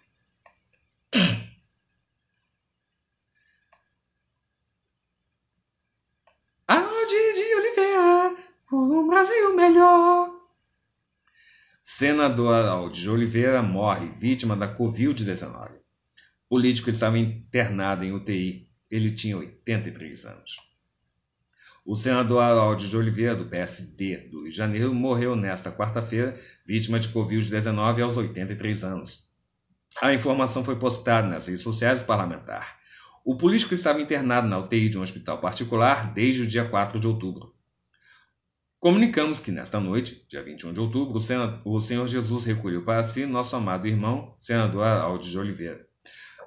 falecido vítima de Covid e, como consequência, a falência dos órgãos. A família agradece o carinho e orações. Outras informações a posteriori, diz a publicação. Natural de São Luís Gonzaga, no Rio Grande do Sul, Oliveira assumiu o cargo de deputado federal pela primeira vez em 1986. Desde então, ele foi eleito em cargos públicos outras nove vezes. Em 2018, ele foi eleito senador federal com apoio de Jair Bolsonaro, que na época ele era do PSL, hoje ele está sem partido, e de Flávio Bolsonaro, do Republicanos. Republicanos, na época era PRB, se eu não me engano. Haroldo de Oliveira é dono do grupo MK de Comunicação, maior empresa de mídia evangélica do país. A deputada federal Flor de Lis, do PSD, é uma das contratadas da MK Music há mais de uma década. MK Music começou como MK Publicitar. Inclusive, é, a, é, o Haroldo de Oliveira é dono da 93 FM, Durante as investigações da morte do pastor Anderson, a polícia suspeitou que o telefone dele havia sido ligado na casa de Harold pouco depois do crime. Em fevereiro deste ano, a esposa do senador Ivelise de Oliveira negou que o celular do pastor Anderson no Carmo esteve em sua residência horas após o crime. Em trecho do depoimento, obtido pelo jornal O Dia, ela afirma que fez um, contrato, fez um contato via internet com o celular e isso poderia ter gerado um erro na operadora telefônica. Ivelise e o marido eram amigos próximos do casal Anderson e Flor de Lis. O prefeito Marcelo Crivella do Rio de Janeiro, do Republicanos, lamentou a morte do senador. Crivella decretou luta oficial de três dias no município do Rio de Janeiro. Hoje, 21 de outubro, nos lares do Rio de Janeiro, há uma lágrima em cada olhar e em cada coração, um sentimento de saudade e tristeza. Perdemos o nosso senador Harold Oliveira, que honrou e dignificou os votos que recebeu em sua brilhante e imaculada carreira política. Foi também deputado constituinte e secretário de transportes de nossa cidade, sempre com uma trajetória digna e honesta. Eu e minha família estamos orando para que Deus conforte seus familiares, amigos e admiradores. Amanhã, 22 de outubro, no caso hoje, no caso esta quinta-feira, né? será decretado luto oficial de três dias no município do Rio de Janeiro em memória a este grande líder que partiu, escreveu, escreveu o prefeito da cidade, que é sobrinho do bispo de Macedo da Igreja Universal. O governador em exercício, Cláudio Castro, também fez uma homenagem a Aldo de Oliveira e decretou luto oficial de três dias no estado. Recebo com profundo pesar a notícia do falecimento do senador Aldo de Oliveira, na noite desta quarta-feira, dia 21 de outubro, vítima da Covid-19. Seu trabalho na política e na comunicação do Brasil deixa um legado social em prol da população, em especial dos fluminenses. Minha solidariedade aos familiares e amigos, assim como a todos aqueles que perderam entes queridos nesta pandemia. O governo do estado decreta a luta oficial de três dias, lamentou. Inclusive, né, antes de continuar a matéria, é, um adendo aqui. É, o programa é, exibido no final dos anos 90, e não me lembro se começo dos anos 2000 também, é, Conexão Gospel foi produzido é, pela produtora MK, né? E foi exibido na época na extinta Rede Manchete.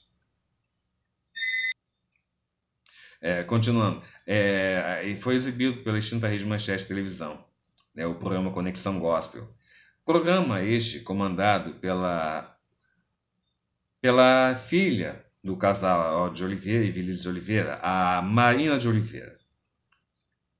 Ela, é, ela era filha né, é, do Harold e da Evelise, junto com outro filho. Né?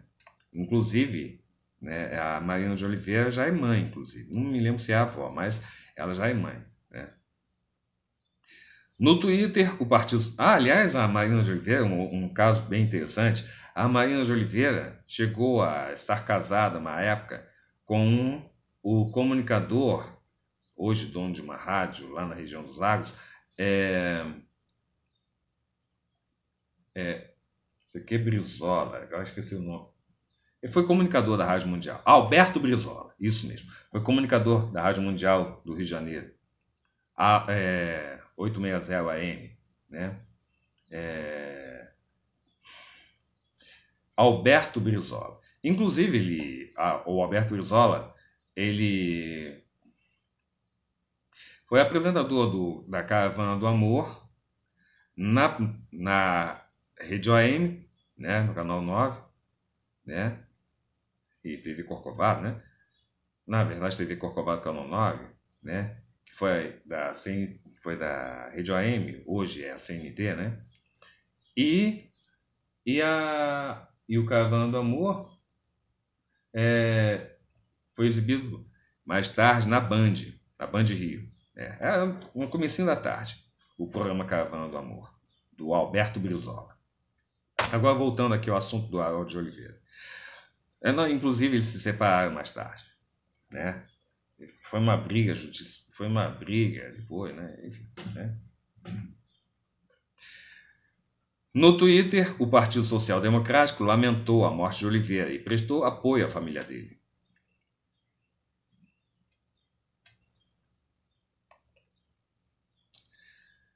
Ciro Garcia afirma que vai substituir o BRT pelo VLT. Candidato à Prefeitura do Rio pelo PSTU, o bancário destacou que o transporte ferroviário é mais eficiente e menos poluente. Nisso eu também concordo, viu?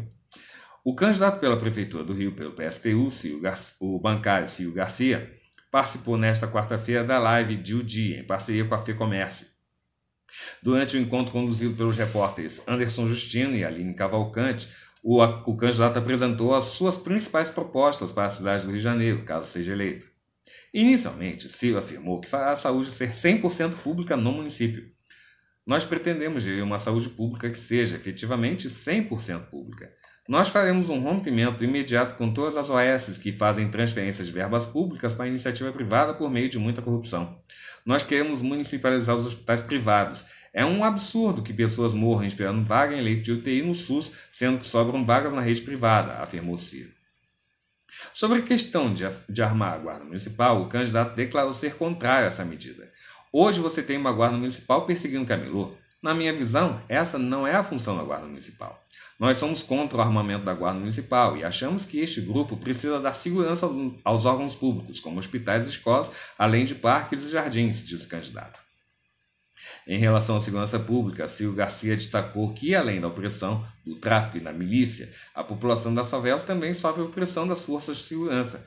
Nós somos contra operações da PM, porque durante o ano letivo as crianças acabam ficando dias sem, aulas na, sem aula nas escolas.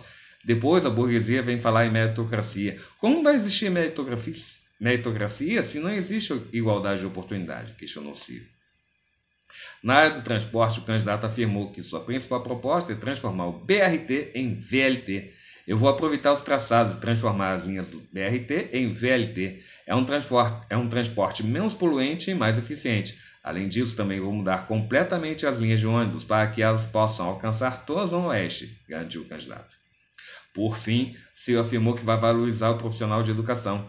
Nós vamos estabelecer um plano de carreira unificado que pressuponha promoções tanto por tempo de serviço quanto pela formação, concluiu. Um brasileiro que morreu durante testes da vacina de Oxford recebeu placebo, de site. A agência diz que João Pedro Feitosa fazia parte do grupo de voluntários que recebeu placebo. O brasileiro João Pedro Feitosa, que foi, que foi voluntário da pesquisa da vacina desenvolvida pela farmacêutica AstraZeneca e pela Universidade de Oxford, e morreu por complicações da doença, recebeu placebo. O médico teve morte confirmada no último dia 15. A informação foi dada pela agência Bloomberg e foi repassada por um parente da vítima. Segundo a agência, ele não recebeu doses reais da vacina e pertencia ao grupo de controle, ao qual um placebo foi administrado para a realização dos testes. Feitosa é um dos quase 10 mil voluntários que participam dos testes clínicos no Brasil. Metade deste grupo tomará duas doses da vacina e o restante receberá placebo. A vacina da AstraZeneca de Oxford está sendo testada no Brasil desde junho. Em nota, a empresa diz que não, que não pode comentar casos individuais nos testes. Obedecemos estritamente a confidencialidade médica e as regulamentações relativas a, estudo, a estudos clínicos E, em linha com esses princípios, podemos confirmar que todos os processos de revisão exigidos foram seguidos, diz a farmacêutica. Testes com vacina de Oxford continuam, mesmo depois de morte de voluntário. Anvisa não deu nenhum detalhe sobre vítima, em razão da confidencialidade. O diretor-presidente da Agência Nacional de Vigilância Sanitária, Anvisa, Antônio Barra, prestou solidariedade à família do voluntário brasileiro dos testes da vacina de Oxford, e, é, que morreu. Ele não deu nenhum detalhe sobre a vítima, devido à confidencialidade do programa, e disse que os testes seguem. Mais cedo, a Anvisa divulgou notas sobre o ocorrido. Foram compartilhados com a agência os dados referentes à investigação realizada pelo Comitê Internacional de Avaliação de Segurança. É importante ressaltar que, com base nos compromissos de confidencialidade ética previstos no protocolo, as agências reguladoras envolvidas recebem dados parciais referentes à investigação realizada por esse comitê, que sugeriu pelo prosseguimento do estudo, disse a Anvisa em nota. Morte de jovem. O voluntário brasileiro João Pedro Feitosa, de 28 anos, que participava dos testes clínicos da vacina desenvolvida pela Universidade de Oxford e pelo laboratório AstraZeneca, morreu devido a complicações de Covid-19 na última quinta-feira. Ele era médico formado pela Universidade Federal do Rio de Janeiro, UFRJ, e estava atuando na linha de frente do, no combate à Covid-19. Em nota criada pela universidade, o médico foi descrito como um jovem promissor.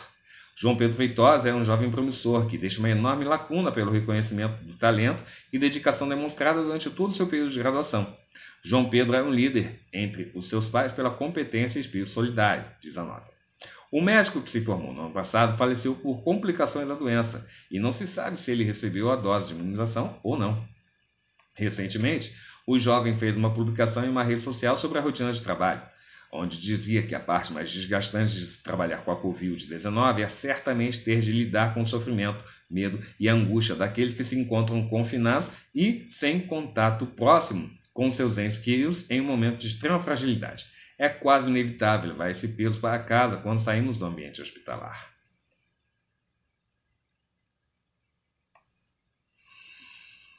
Neto de Guinda Beija-Flor não estava com os demais baleados no baile, diz advogado. Gabriel Marcondes não tinha envolvimento com tráfico de drogas, diz defesa.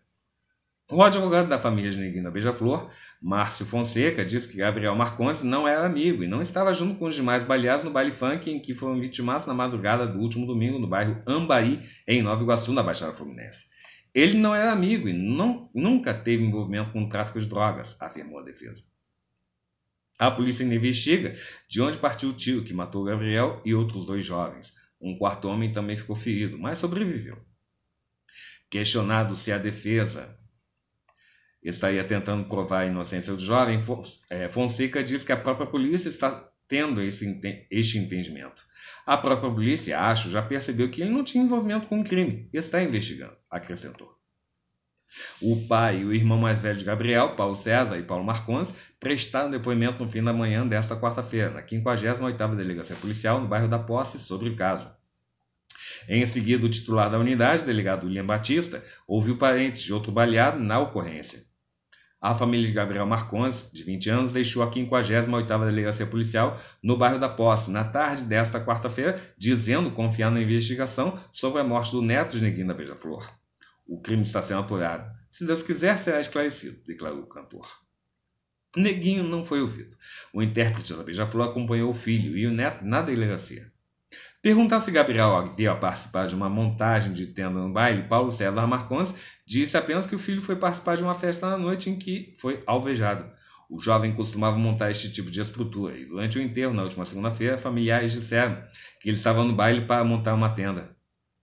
Ele foi participar de uma festa. O que aconteceu no decorrer ali, a gente não sabe exatamente, mas vai dar tudo certo. A polícia está fazendo o trabalho dela. A gente acredita no trabalho da equipe. Acreditamos que o caso vai ser solucionado o mais rápido possível, disse Paulo César Marcondes. Paulo César estava com a esposa em casa quando o filho foi morto na madrugada do último domingo. Era um filho maravilhoso, tinha vários sonhos. O primeiro tinha sido ser jogador de futebol. Ele era muito novo, com muitos sonhos, comentou. Antes de comparecer à delegacia, Neguinho havia se dito descrente com as investigações. Ele temia que a morte do neto não fosse investigada e que Gabriel fosse tido por suspeito por ser negro e estar em um baile funk. Eu estou mal. Até agora a ficha não caiu. O garoto foi criado comigo. Não estou com tanta esperança do caso ser resolvido. Vão dizer que estava na hora errada no lugar errado, disse o intérprete. Queriam que ele tivesse onde? No Barra Shopping, em Ipanema? Lá ele também seria suspeito. O que esse crioulo da Baixada está fazendo no shopping? Diriam. Qual o lazer de um garoto criado na Baixada? Nem todo mundo é obrigado a estar na igreja, acrescentou Neguinho na manhã desta quarta. O intérprete diz que a violência e o racismo o fazem pensar em deixar o país. Há muito tempo estou pensando em sair do Brasil, como muitos artistas negros estão saindo. Estou com uma filha de 12 anos que é negra. Neus no Brasil já nasce suspeito. Como vou criar minha filha negra no Brasil? Desabafa a neguinha Beija-Flor. De acordo com informações da 58ª Delegacia Policial no bairro da Posse, as investigações estão em andamento.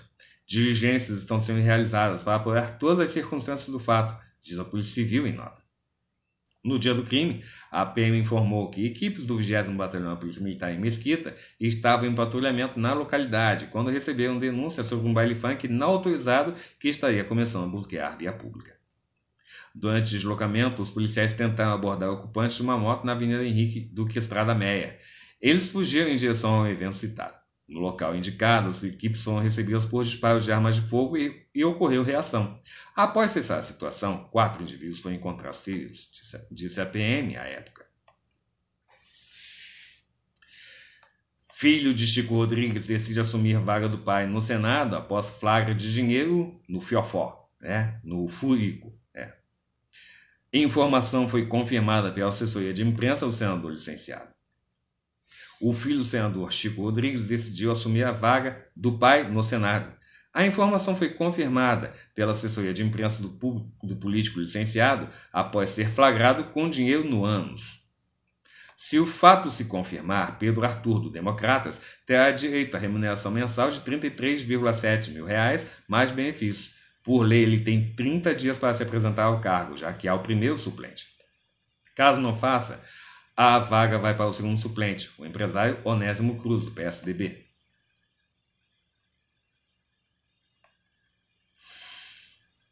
Burger King anuncia mil vagas de emprego em todo o país. Oportunidades são para cargos de atendente, coordenador de turno e gerente de negócios.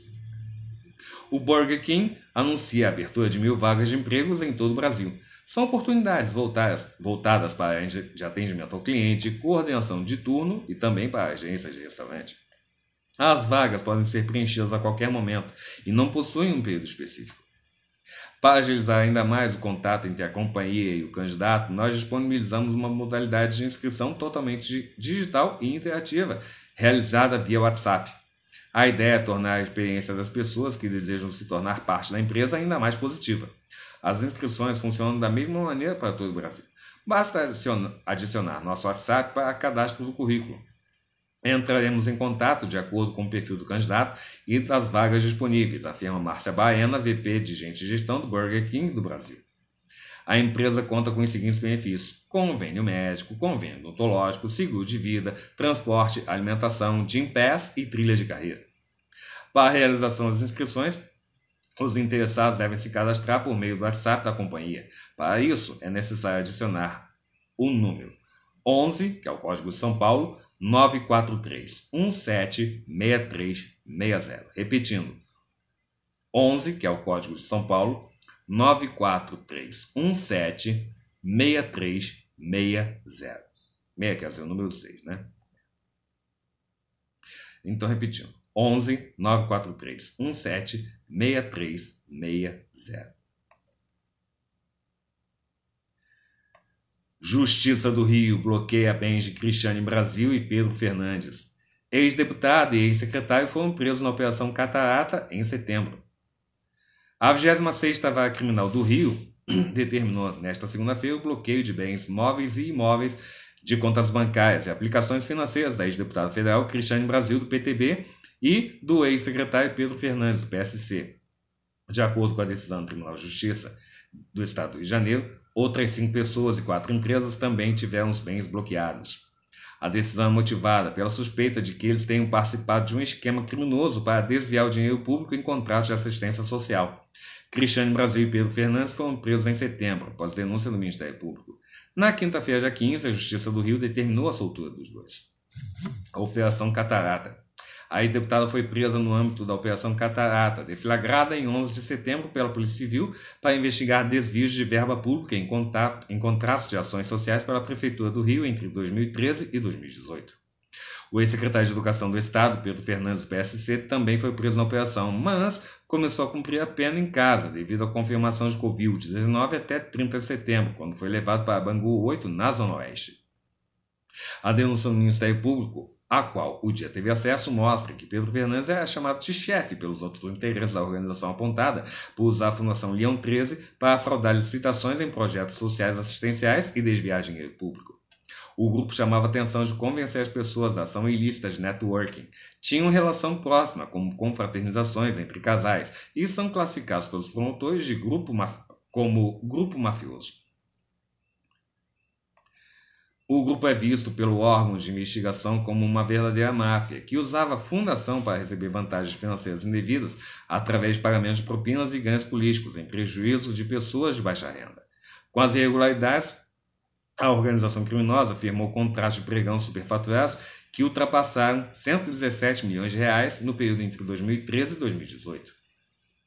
Numa conversa no WhatsApp, em outubro do ano passado, Flávio Chadud, um dos presos nesta sexta-feira durante a segunda fase da Operação Catarata, e Marcos Vinícius Azevedo da Silva, ou MV, preso na primeira etapa das investigações em julho do ano passado, comemoraram o fato de Pedro Fernandes assumir a Secretaria de Estado de Desenvolvimento Social e Direitos Humanos do Rio por acreditarem que, desta forma, poderiam obter ainda mais vantagens para o esquema.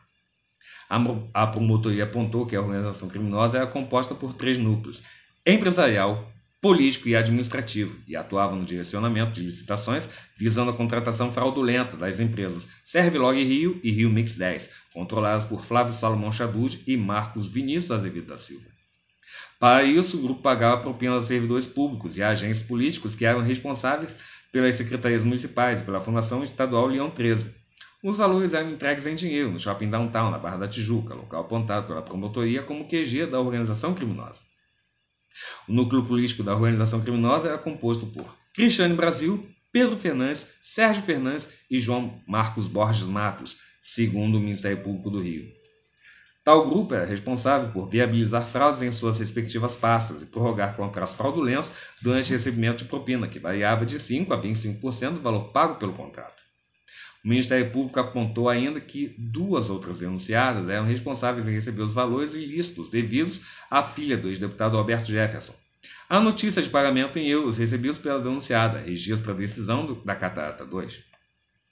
Verifica-se que os denunciados Pedro Fernandes e Cristiane Brasil, se utilizando de articulações políticas, teriam implementado e gerido um verdadeiro esquema criminoso com apoio de empresários, assessores, administradores e funcionários que, em troca de um emprego ou função com remuneração e bônus, alimentavam o desvio de verbas públicas destinada a pessoas de baixa renda e a idosos.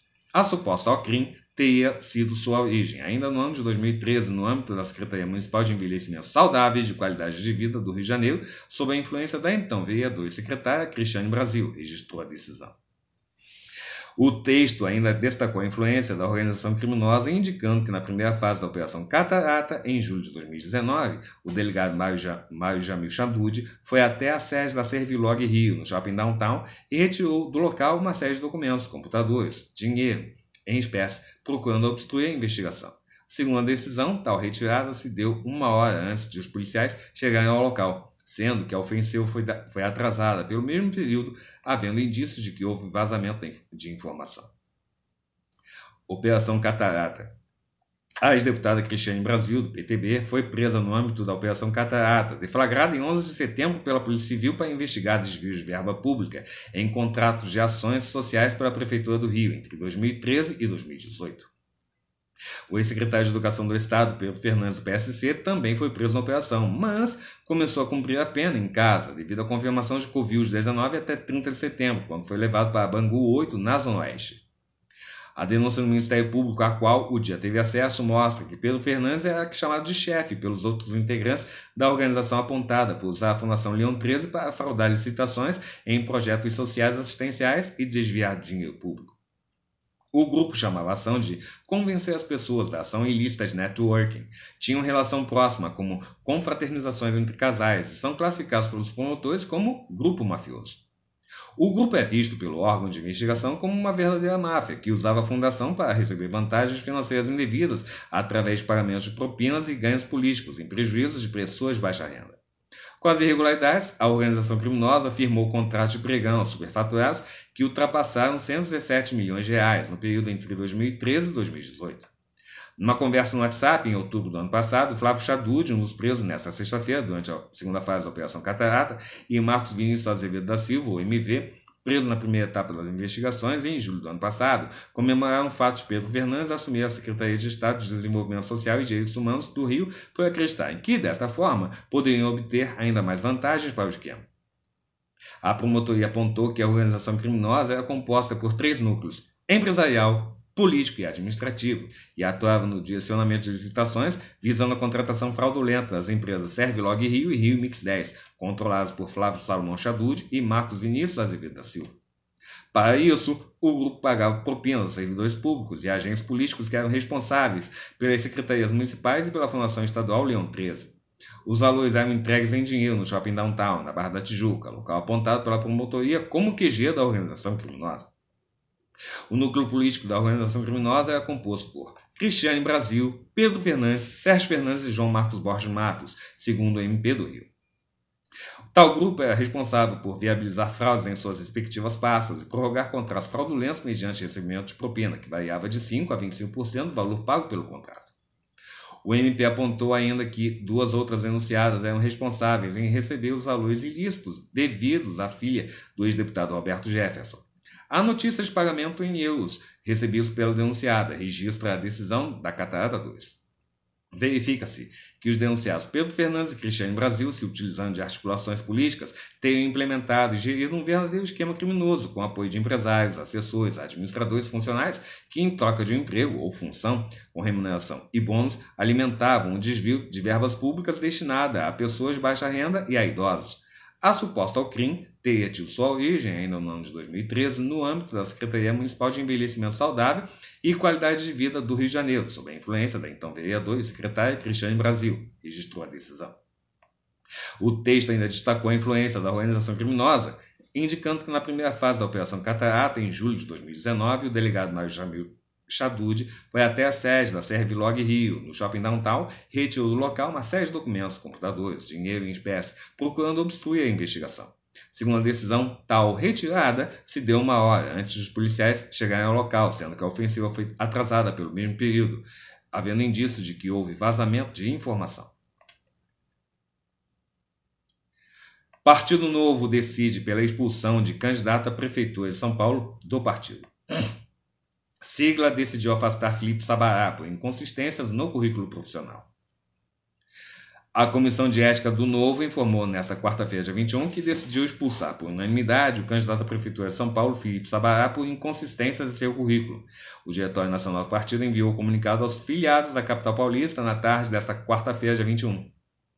Segundo o texto, o candidato tem 10 dias para apresentar recurso ao Diretório Nacional do Novo. Segundo a sigla, a apreciação do recurso não suspende a decisão da Comissão de Ética. Filipe Sabará está oficialmente expulso e não pertence mais ao quadro dos filiados do Novo, diz o comunicado. Em Sabatino ao Estadão, também, nesta quarta-feira, Sabará fez críticas ao partido. Acusou a legenda de não repassar 600 mil reais em doações à sua campanha e afirmou que o Conselho de Ética é comandado pelo ex-candidato a presidente João Almoedo. Gosto muito do Novo, do seu estatuto. O que não concorda é com o caciquismo. Quando se discorda do João Almoedo, pessoas vêm te perseguir, disse o candidato. Em, resposta, em respostas a críticas durante a sabatina, Amoedo disse: Sabá tem uma postura arrogante, incoerente e vai cair no ostracismo.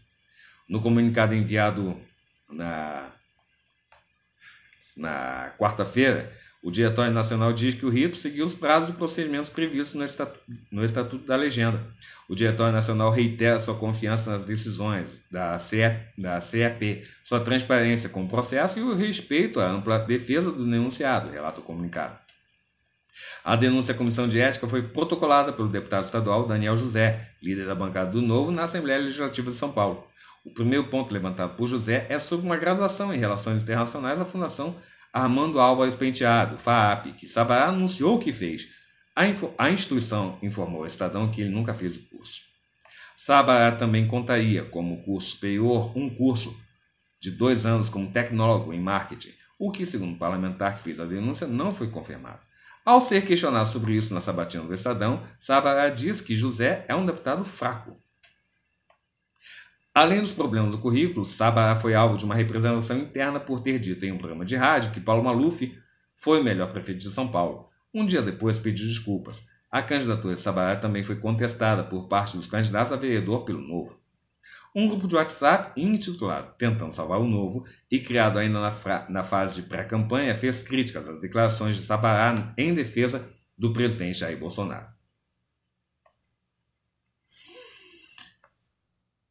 Falsas contas no Instagram se passam por canais de atendimento a clientes de bancos.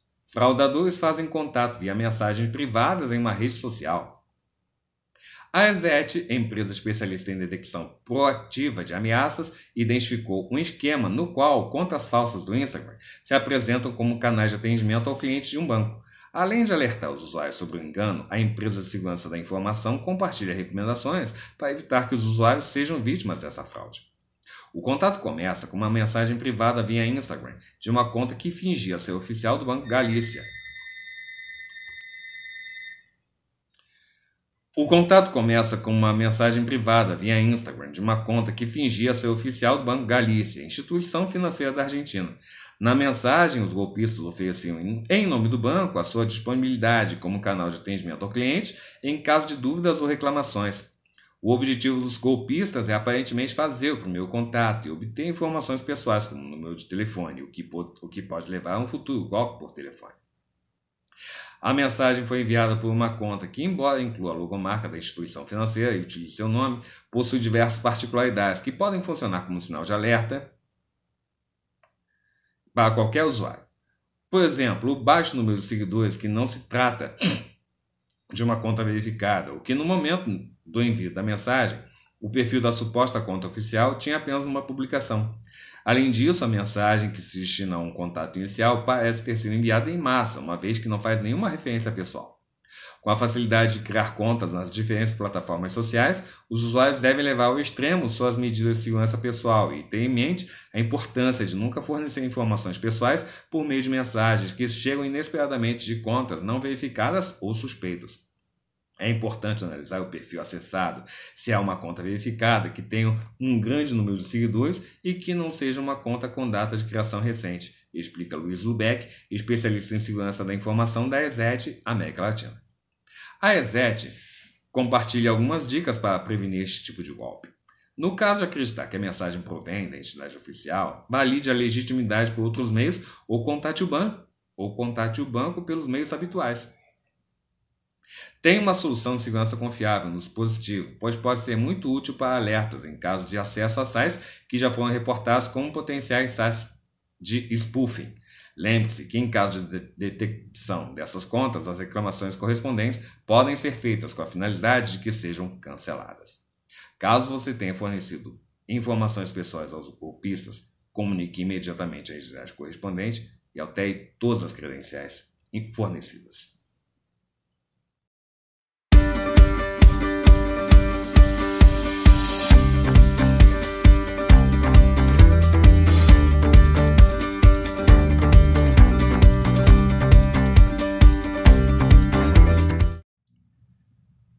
Flamengo roda time, vence Barranquija e avança como líder do grupo.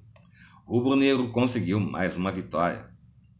O Flamengo precisava apenas do empate para avançar na Libertadores. Na defesa do título, o Rubro Negro poupou os titulares, mas mostrou força com os reservas em ação na vitória por 3 a 1 sobre o Junior Barranquilla da Colômbia nesta quarta-feira no Maracanã e avançou como líder do grupo A. Em ritmo de treino, Tuller, Lincoln e Bruno Henrique comandaram a vitória. Ali as críticas e à própria filosofia, o técnico Domenech Torrent promoveu um grande rodízio. Em relação à formação que iniciou a goleada por 5 a 1 sobre o Corinthians domingo pelo brasileiro, apenas Vitinho e Bruno Henrique foram mantidos. Com a vaga garantida para as oitavas de final da Libertadores, a comissão técnica confiou na evolução apresentada nos últimos jogos para reiterar as mudanças de olho no confronto com o Internacional domingo no Beira-Rio, valendo a liderança no Brasileiro. O gol de Tuller, com direito à assistência de Léo Pereira, após o escanteio cobrado por Vitinho aos 10 minutos, trouxe paz para o torcedor mais desconfiado. Em ritmo de treino, o Flamengo se impôs a, a se forçar. Vitinho, com uma bola no travessão e outra defendida pelo goleiro Vieira, quase aumentou a vantagem. Com o futebol subindo de patamar, Bruno Henrique fez ótima jogada, que originou o belo gol de primeira de Lincoln aos 39 minutos. Em vantagem, Dome sacou William e Vitinho e deu vez à garotada com João Gomes e Lázaro. Com Diego um pouco mais recuado, o rubro-negro diminuiu o ritmo e perdeu intensidade, mas continuava soberano.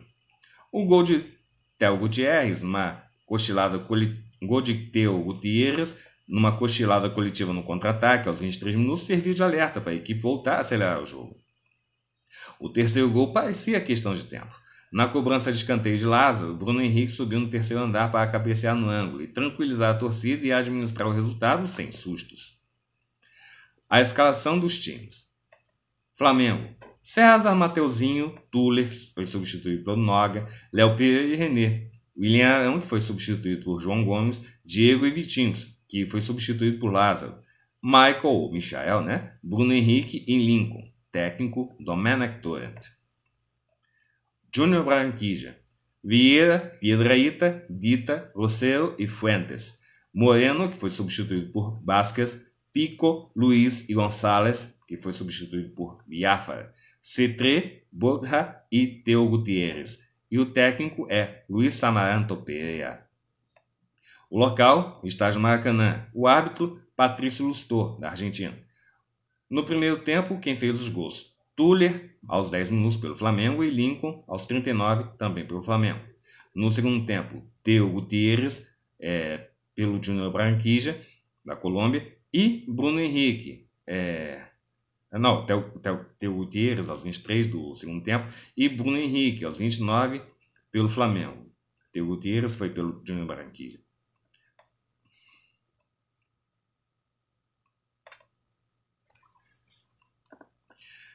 Na estreia de Pinto, o Vasco leva gol no fim e perde para o Corinthians em São Januário. Jejum de vitórias da equipe carioca na temporada já é de nove partidas. Em sua estreia pelo Vasco, o treinador português Ricardo Sapinto pode observar que, precisa, que precisará corrigir muitos erros da sua equipe para que eles deixar São Januário. Com os desfalques de última hora de Benítez e Cano, o Cruz Maltino foi derrotado por 2 a 1 pelo Corinthians em casa e viu sua situação no brasileiro ficar ainda mais complicada. Ao todo, já são nove jogos sem vencer na temporada, sendo sete no Campeonato Brasileiro. Com 18 pontos, a equipe carioca está a 2 da zona de rebaixamento do brasileiro. O Cruz Maltino volta a jogar pela competição no dia 1 de novembro contra o Goiás na Serrinha.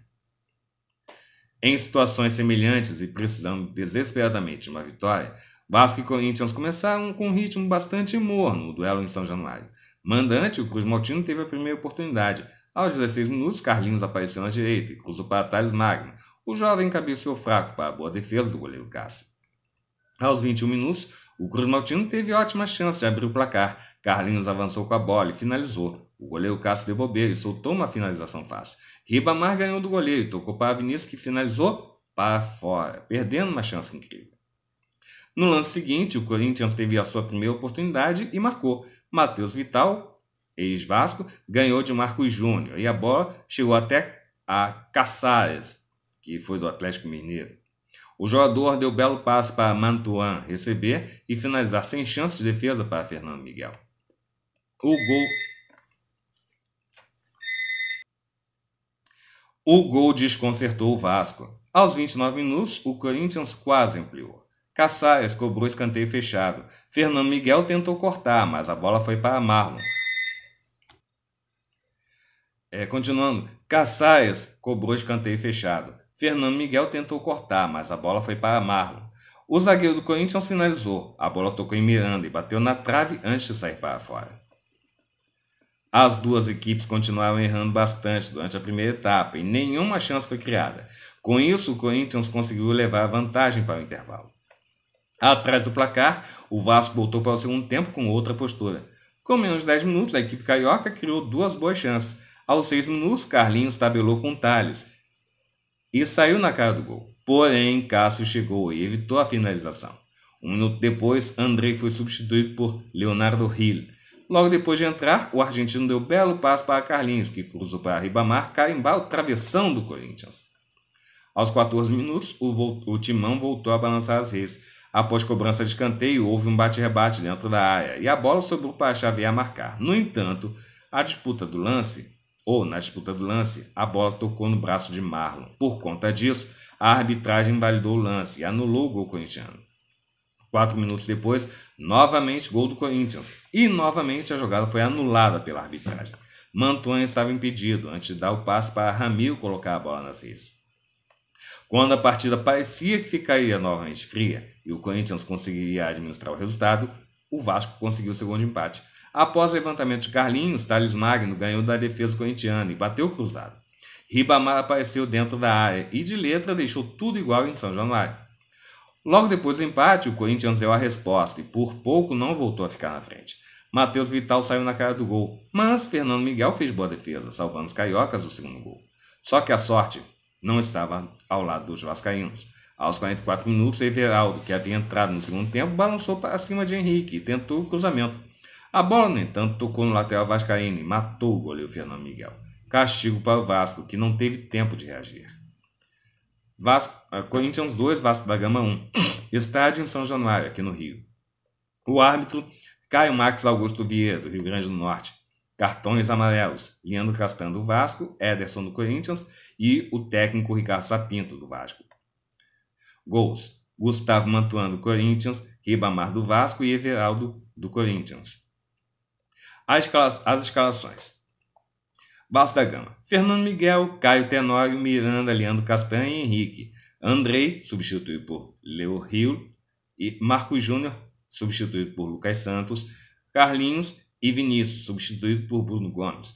Ribamar, substituído por Guilherme Parede e Thales Magno. Técnico, Ricardo Sapinto. Corinthians, Cássio, Fagner, Marlon, Gil e Fábio Santos. Xavier, Ramil, substituído por Camacho. Ederson, substituído por Gustavo Mosquito, Matheus Vital e Caçares, substituído por Luan, Gustavo Mantuan, substituído por Everaldo, técnico Wagner Mancini.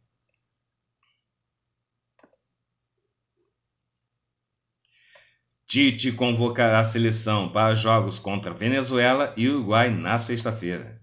Jogos vão acontecer em 13 e 17 de novembro. Dez dias após vencer o Peru pelas eliminatórias da Copa do Mundo de 2022, a seleção brasileira voltará a ser convocada nesta sexta-feira no Rio de Janeiro. O técnico Tite vai anunciar a lista dos jogadores a partir das 11 horas da manhã para os duelos contra Venezuela e Uruguai. O jogo contra a Venezuela está marcado para o dia 13 de novembro, às 9h30 da noite, no Morumbi, em São Paulo. Os uruguaios serão os adversários da seleção no dia 17 em Montevidéu. O Brasil tem 100% de aproveitamento nas eliminatórias até agora, com duas vitórias em dois jogos. Goleou a Bolívia por 5 a 0 na estreia, na Neoquímica Arena, em São Paulo, e depois superou o Peru por 4 a 2 em Lima. Nesta sexta-feira, time ou Tite vai anunciar os convocados de forma virtual devido à panda Emir do novo coronavírus. Na sequência, em tempo real, os jornalistas poderão fazer perguntas para o treinador e para a comissão técnica. Para esta convocação, o treinador deve ter mais opções à sua escolha. Isso porque jogadores que foram desfalques nos dois primeiros jogos das eliminatórias devem estar recuperados de lesão a tempo de jogar no próximo mês. São os casos do goleiro Alisson do Liverpool, dos laterais Alexandro da Juventus e Daniel Alves do São Paulo, e do, do atacante Gabriel Jesus do Manchester City.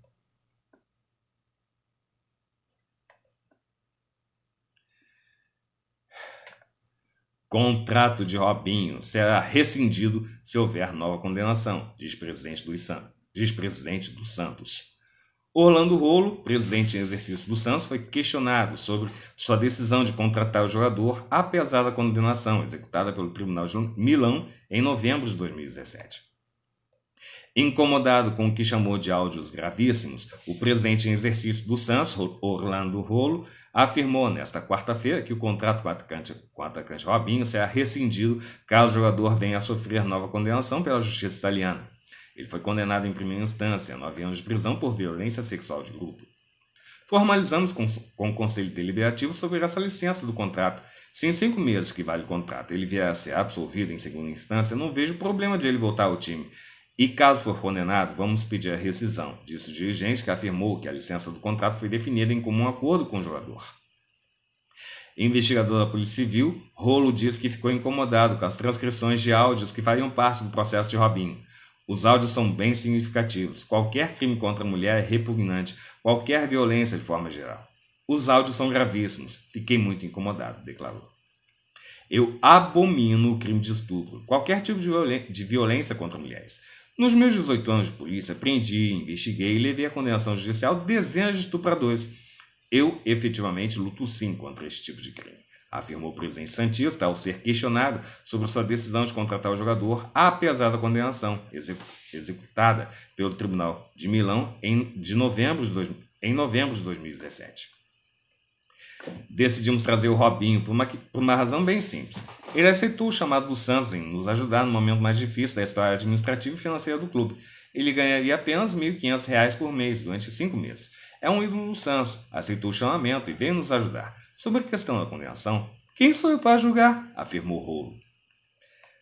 Ele disse também que Robinho já jogou em diversos clubes, inclusive no próprio Santos. Depois do episódio, o suposto crime aconteceu em 2013. Depois desta questão, ele já jogou no Santos, no Atlético Mineiro, na Turquia e na China. Nunca ninguém falou nada. Começaram a falar agora. Rolo pediu mais tolerância com o jogador. Temos de apedrejar menos e ter mais tolerância. Não posso emitir juízo de valor sobre os autos. A sentença é volumosa, de dezenas de laudas, e temos de ter opinião após analisar o processo como um todo. Tenho total desprezo pelo que foi dito nos áudios. Não quero antecipar julgamento. Quem sou eu para julgar? Temos de aguardar o desfecho do processo. Botafogo fecha a contratação do volante José, José Wellison, do Atlético Mineiro. O jogador de 25 anos chega por empréstimo até o fim do Campeonato Carioca de 2021. O tão procurado primeiro volante foi achado. O Botafogo fechou a contratação de José Wellison, junto ao Atlético Mineiro.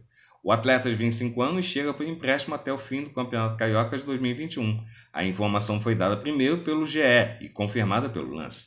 GE, que é o Globo Esporte, né? que é o site de esporte do Grupo Globo. Os salários serão divididos entre Botafogo e Atlético Mineiro, com cada equipe pagando a metade dos vencimentos do atleta. A diretoria do Glorioso espera que José Wellison realize exames médicos nesta quinta-feira antes de assinar o vínculo. José Wellison foi revelado pelo Vitória, onde se destacou até que foi contratado pela equipe mineira por empréstimo em 2018. No ano passado, o volante foi comprado em definitivo pelo Atlético Mineiro, mas perdeu espaço com a chegada de Jorge Sampaoli.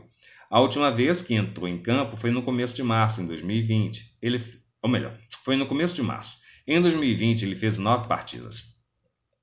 O jogador esteve envolvido na negociação envolvendo Everson e o Atlético Mineiro, na teoria, José Wellison iria para o Santos uma forma de compensação à transferência, mas a mudança na presidência no Peixe fez com que o clube paulista desistisse da negociação. Com o volante contratado, a diretoria do Botafogo agora concentra forças na chegada de um atacante de lado. O plano A é Ronald, do Botafogo de Ribeirão, de Ribeirão Preto. Mas o clube general severiano começa a explorar outras opções pela dificuldade da negociação. Real Madrid leva 3 do Shakhtar Donetsk no primeiro tempo e perde na Liga dos Campeões. Equipe espanhola começou mal a temporada na competição.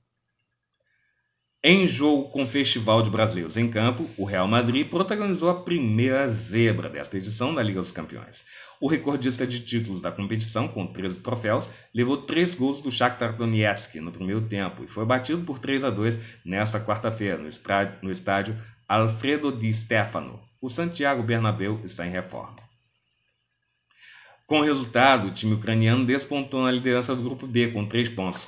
Pela mesma chave, Inter de Milão e Borussia é, Mönchengladbach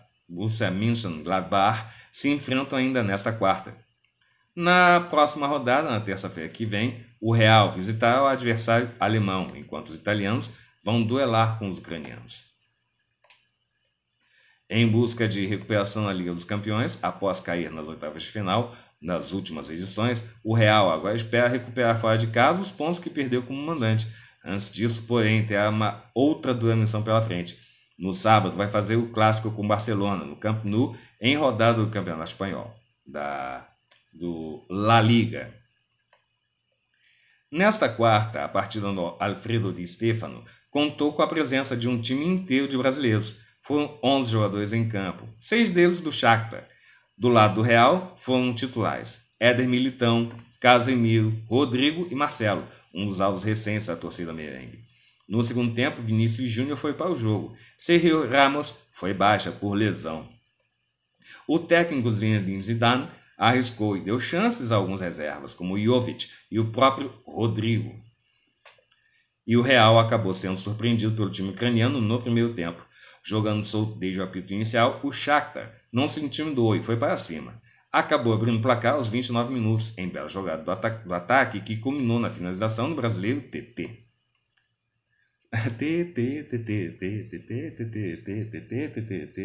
Então, né? É, é, cantando uma musiquinha do Jorge Benjor, né? A música Taj Mahal. A equipe ucraniana cresceu ainda mais no jogo quatro minutos depois, quando Dentinho dividiu com Varane na primeira área e o zagueiro francês acabou mandando contra as próprias redes.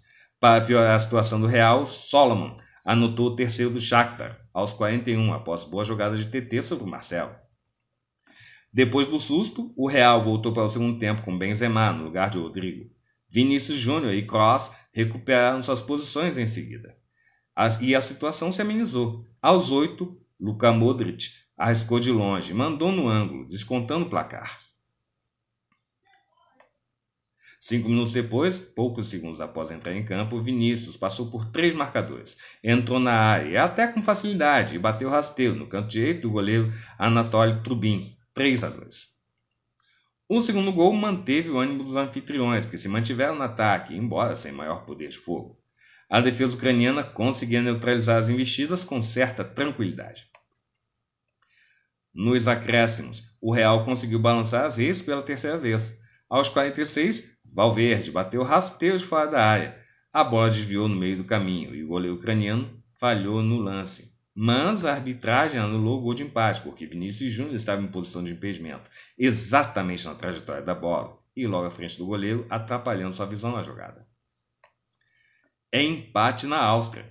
Pelo grupo A, Salzburg, Salzburg e, Lokomotiv, e, Lo, e Lokomotiv Mos, Moscou empataram por 2 a 2 nesta quarta, que é o Red Bull Salzburg o, e o Lokomotiv, Mos, Lokomotiv Moscou. Hum?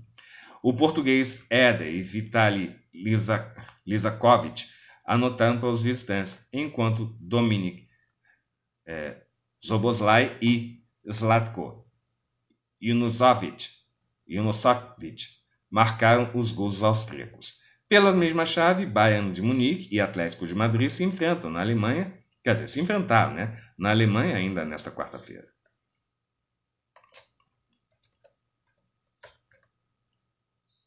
Aliás, o Bayern goleou o Atlético de Madrid. Né? O Bayern venceu o Atlético de Madrid por 4 a 0. Gols de Kingsley Coman aos 28 e aos e aos é, e aos que, né? E aos 17, não, e aos 27 do do não, 27 não. É, é, isso mesmo. E aos 27 do segundo tempo. Leão Goesca, aos 41 do primeiro tempo. E Corentin Tolisso, aos, aos 21 do segundo tempo.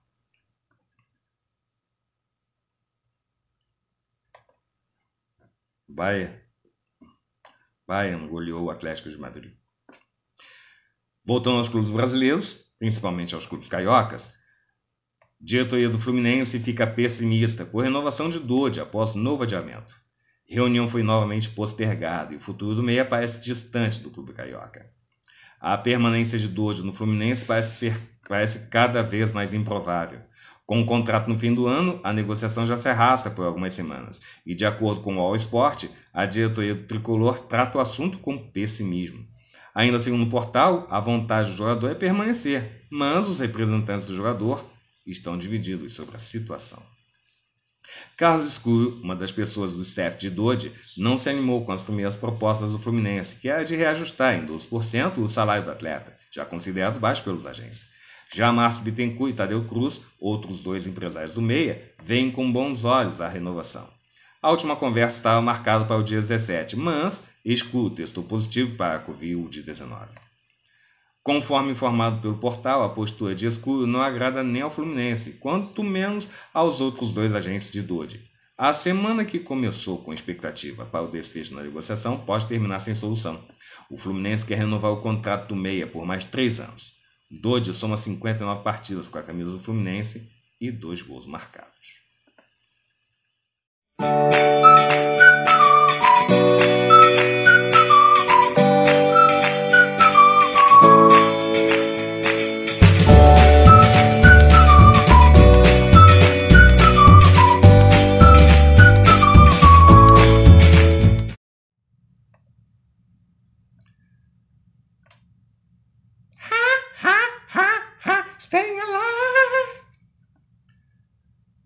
Juliano Célia, ou se você quiser pronúncia italiana, né?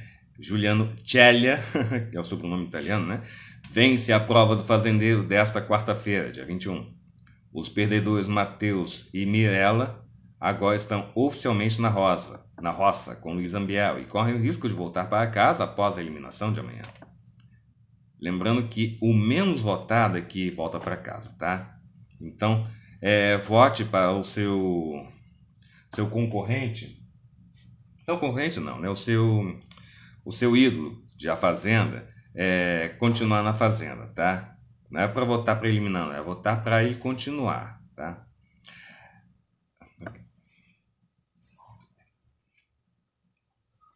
Na prova do fazendeiro, desta quarta-feira, dia 21, os peões Juliano, Matheus e Mirella passaram por um desafio de força e precisão. O jornalista Juliano levou a melhor e garantiu o posto de fazendeiro da semana, além de ter imunidade e o poder de indicação na próxima votação. A atividade foi dividida em duas partes: quebrar obstáculos de madeira com uma corda e arremessar bolas em caixas, usando catapultas.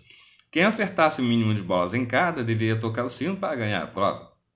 Matheus e Mirella agora formam a roça da semana ao lado de Luísa. Lembrando que, nesta quinta-feira, dia 22, teremos a eliminação e um desses três vocês vai sair do reality e voltar para casa. Não perca. Lembrando que o menos votado é quem volta para casa, tá? Por isso, vote muito para que ou o Luiz, ou o Matheus, ou a Mirella continuem na casa, tá? Luísa, Matheus e Mirella formam o trio da roça desta semana. Juliano vence a prova do fazendeiro e ganha imunidade na próxima votação.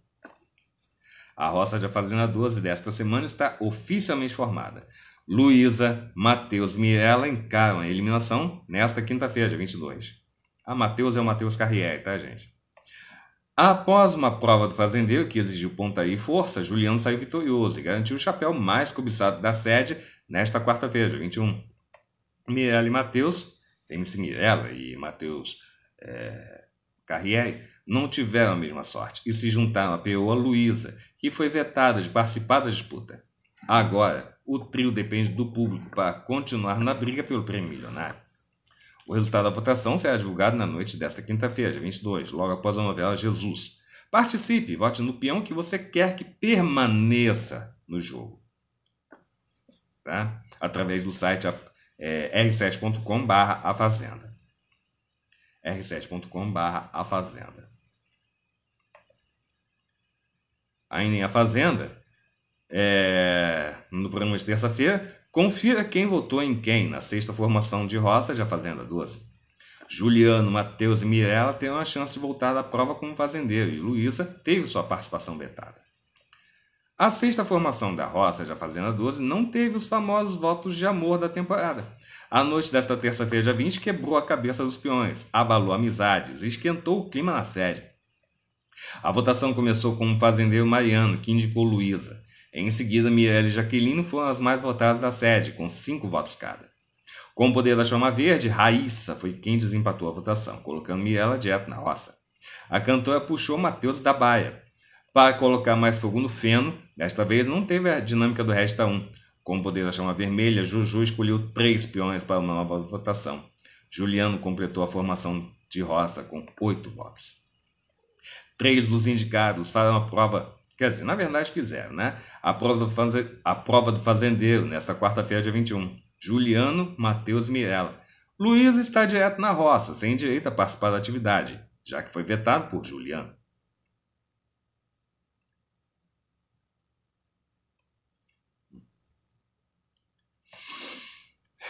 Muito bem.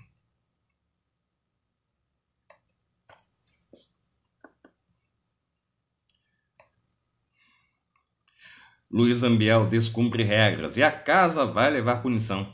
Em conversa com Biel, Mirella e Vicky, Beoa disse que ia começar a, faz... ia começar a fazer coisas erradas de propósito.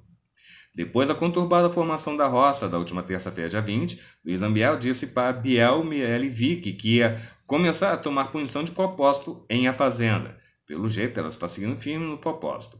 Na manhã desta quarta-feira, dia 21, ela desceu para cuidar dos animais e esqueceu a galocha.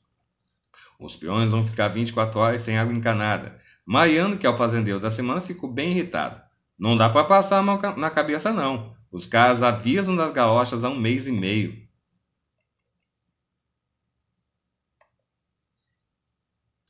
Ainda em A Fazenda, MC Mirella desmaia em A Fazenda. Fanqueira passou mal durante conversa com Bial. Conversando com Biel sobre a indicação de Jojo, que a colocou na roça desta semana, e do complô que estavam fazendo contra Biel, ela e Luiz Ambiel, a fanqueira passou mal e chegou a ser atendida pela equipe médica de plantão do reality. Mana, porque a Jojo veio pegar o negócio da primeira semana? Cara, ela está surpresa comigo. Não tinha ninguém naquela primeira semana. Gente, eles estão todos de complô. A gente é trouxa. A gente é trouxa? Burro? Já estávamos percebendo e não falaram. Falava Mirella com Biel quando se sentiu mal. Imediatamente colocou, imediatamente Biel colocou Mirella sobre a mesa, enquanto os demais peões pediam ajuda para a equipe médica. O Play Plus streaming da Record TV cortou as imagens rapidamente. Mirella retornou alguns minutos mais tarde e os peões comentaram se tratar de uma crise de asma.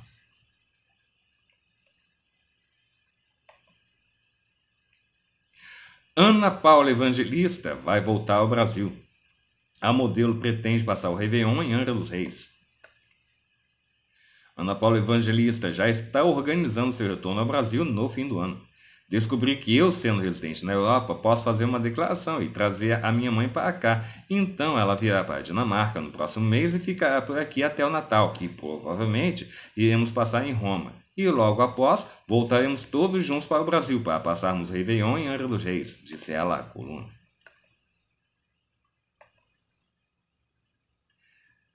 Voltando em A Fazenda, nude de Mariano deixa a internet em polvorosa. Sertanejo mostrou demais ao trocar de roupa em A Fazenda. Mariano é, sem quaisquer sombra de dúvidas, sem quaisquer sombras de dúvidas, o participante mais cobiçado pelas telespectadoras da Fazenda. E no último domingo, dia 18, a internet ficou empolvorosa com um nude vazado. O sertanejo estava trocando de roupa quando foi traído pela toalha.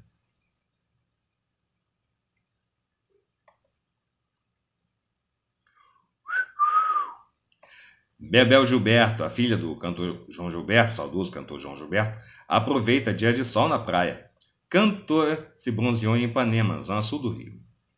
Bebel Gilberto, de 54 anos, aproveitou o dia de sol para se bronzear. A cantora esteve na praia de Ipanema, na zona sul do Rio, na tarde desta quarta-feira.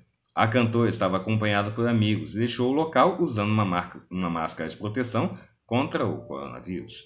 Ou coronavírus, quer dizer.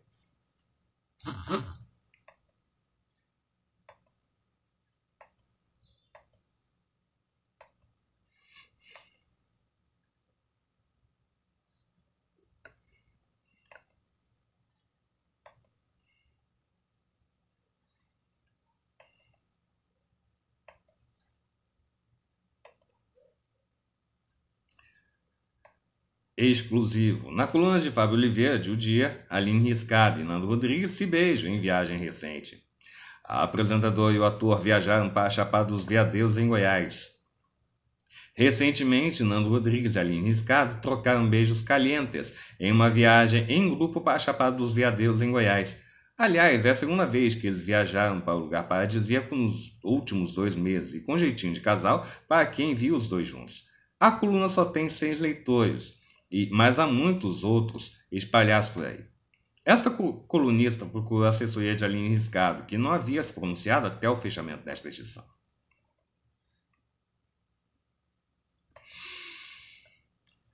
Atriz recebe buquê de rosas em formato de vagina.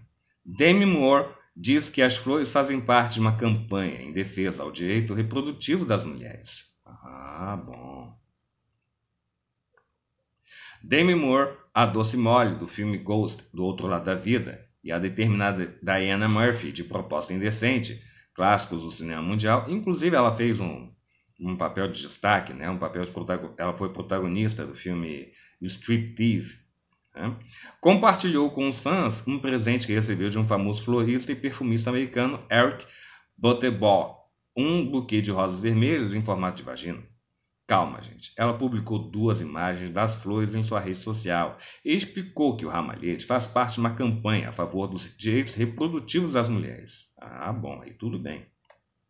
Obrigado, Eric Butterball. Adorei minha escultura floral de vagina e amo você. Orgulho de você por apoiar mulheres em todos os lugares e usar sua plataforma para defender os direitos reprodutivos. Proteger nossos direitos é essencial para termos a nossa igualdade, escreveu a atriz na legenda da publicação.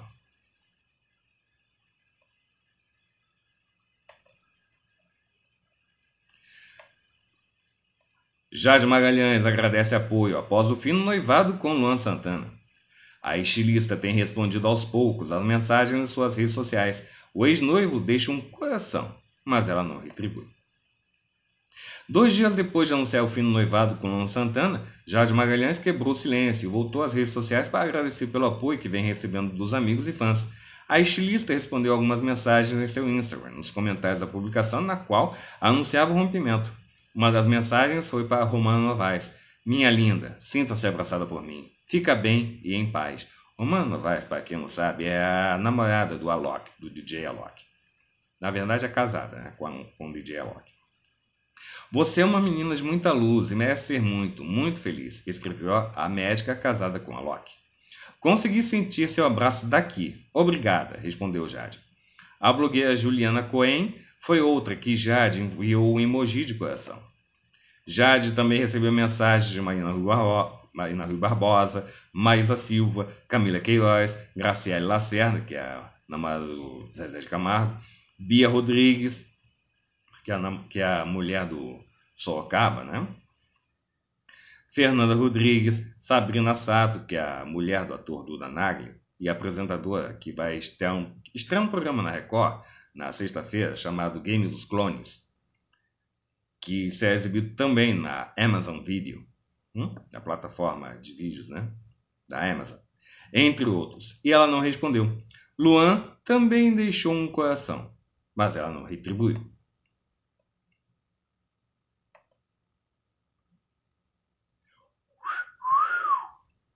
Nudez de Maria Card abala redes sociais. Musa Fitness mostra corpão e espaço luxuoso de sua mansão.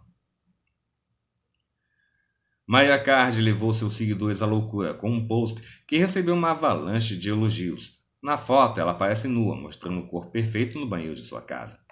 Além de ostentar a beleza física, mostrou o bom gosto do banheiro de sua mansão luxuosa, localizada no interior de São Paulo. Vamos da verdade? Queria mostrar meu banheiro novo para vocês. A minha casa nova está dos sonhos, mas óbvio que eu nunca entrei nessa banheira, pois para pagar as contas, que são muitas, da casa linda, tem que trabalhar muito e aí entrar numa banheira. Eu deixo para arroba Sofia Card Aguiar.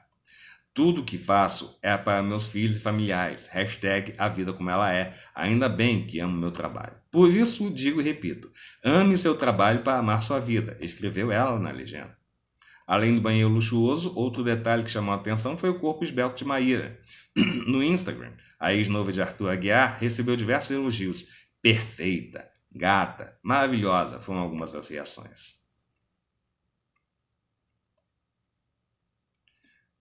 Aliás, Maria Carta está com um corpo bonito, hein? É. Era filtro. Rafael Portugal prega peça em fãs com um novo visual. A brincadeira do humorista foi desvendada durante o um encontro com Fátima Bernardes na Globo. O novo visual de Rafael Portugal, que deixou todo mundo boquiaberto nesta quarta-feira, dia 21, não passava de um filtro. O humorista foi desmascarado quando Tati Machado, do G-Show, fez uma participação no encontro, revelando que tudo não passava de uma brincadeira para pregar uma peça aos fãs. Descobri que o novo visual não passa de fake news. Ele usou um filtro e, mais uma vez, pregou uma peça aos fãs, disse. A apresentadora Fátima Bernardes aproveitou o assunto para fazer uma ressalva sobre o uso excessivo de filtros. Se foi para brincar, foi muito bacana, mas não podemos nos apegar a esses filtros, senão depois não nos reconhecemos mais. Andréa Sadi recusa a proposta de ir para o entretenimento da Globo. Globo, que é jornalista em novo projeto. Andréa Sadi recebeu uma proposta de migrar para o entretenimento da Globo, assim como fez Fernando Gentil em 2018. Segundo o site Na Telinha, a ideia era que a jornalista atuasse em um projeto ainda em estágio embrionário. Ela ouviu a proposta, mas não demorou muito para recusar. Ao que parece, Andréa Sadi preferiu continuar onde está, por entender que não é o momento de trocar algo onde ela é consagrada por uma aposta. A ideia de levar Sadi para o entretenimento surgiu após recentes entrevistas que ela concedeu para veículos de imprensa e em programas como o Altas Horas, do Serginho Groisman. Entre... O entretenimento da Globo também percebeu que a jornalista é muito bem aceita nas redes sociais, onde também tem uma linguagem mais informal. Para os diretores, isso seria uma grande sacada. Até o momento, André Sadi não falou sobre o assunto. O clima pesa no programa de Claudete Troiano. Patrocinador da atração, o Sidney Oliveira, vê parte do acordo com a Rede TV ser quebrado. Parece que a relação entre a Ultrafarma e a Rede TV para a parceria no programa de Claudete Troiano deu uma leve azedada. Isso porque o Sidney Oliveira, dono da rede de farmácias, Ultrafarma e Ultrafarma Popular, e que e e também dono, de, e também dono da marca de produtos de vitaminas e tal, né? E que é o patrocinador do programa feminino, viu parte de seu acordo com o canal ser quebrado. Aliás, ele, o Sidney ele, ele, entra com a marca Sidney Oliveira, hum? que é a marca de vitaminas e tal. O combinado era que a emissora poderia colocar no máximo um intervalo por edição, e esse combinado tinha sido feito para que o programa tivesse maior tempo no ar, ficando assim a marca de Cisne em evidência. Acontece que na prática têm sido veiculados três breaks comerciais por, por programa, ou seja, a marca do patrocinador master, aquele que paga mais, aparece por menos tempo na televisão. O número maior de intervalos comerciais só beneficia a emissora, que na prática vendeu aquele espaço e ainda assim quer faturar, dando visibilidade a outras marcas. Nos bastidores da emissora, já se fala que o, se o dono da Ultrafarma se irritar mais do que já anda irritado, ele pode cancelar o programa. Por conta disso, já há uma movimentação para deixar a volta tricotando em stand-by. Vamos aguardar as cenas, dos, as cenas dos próximos capítulos.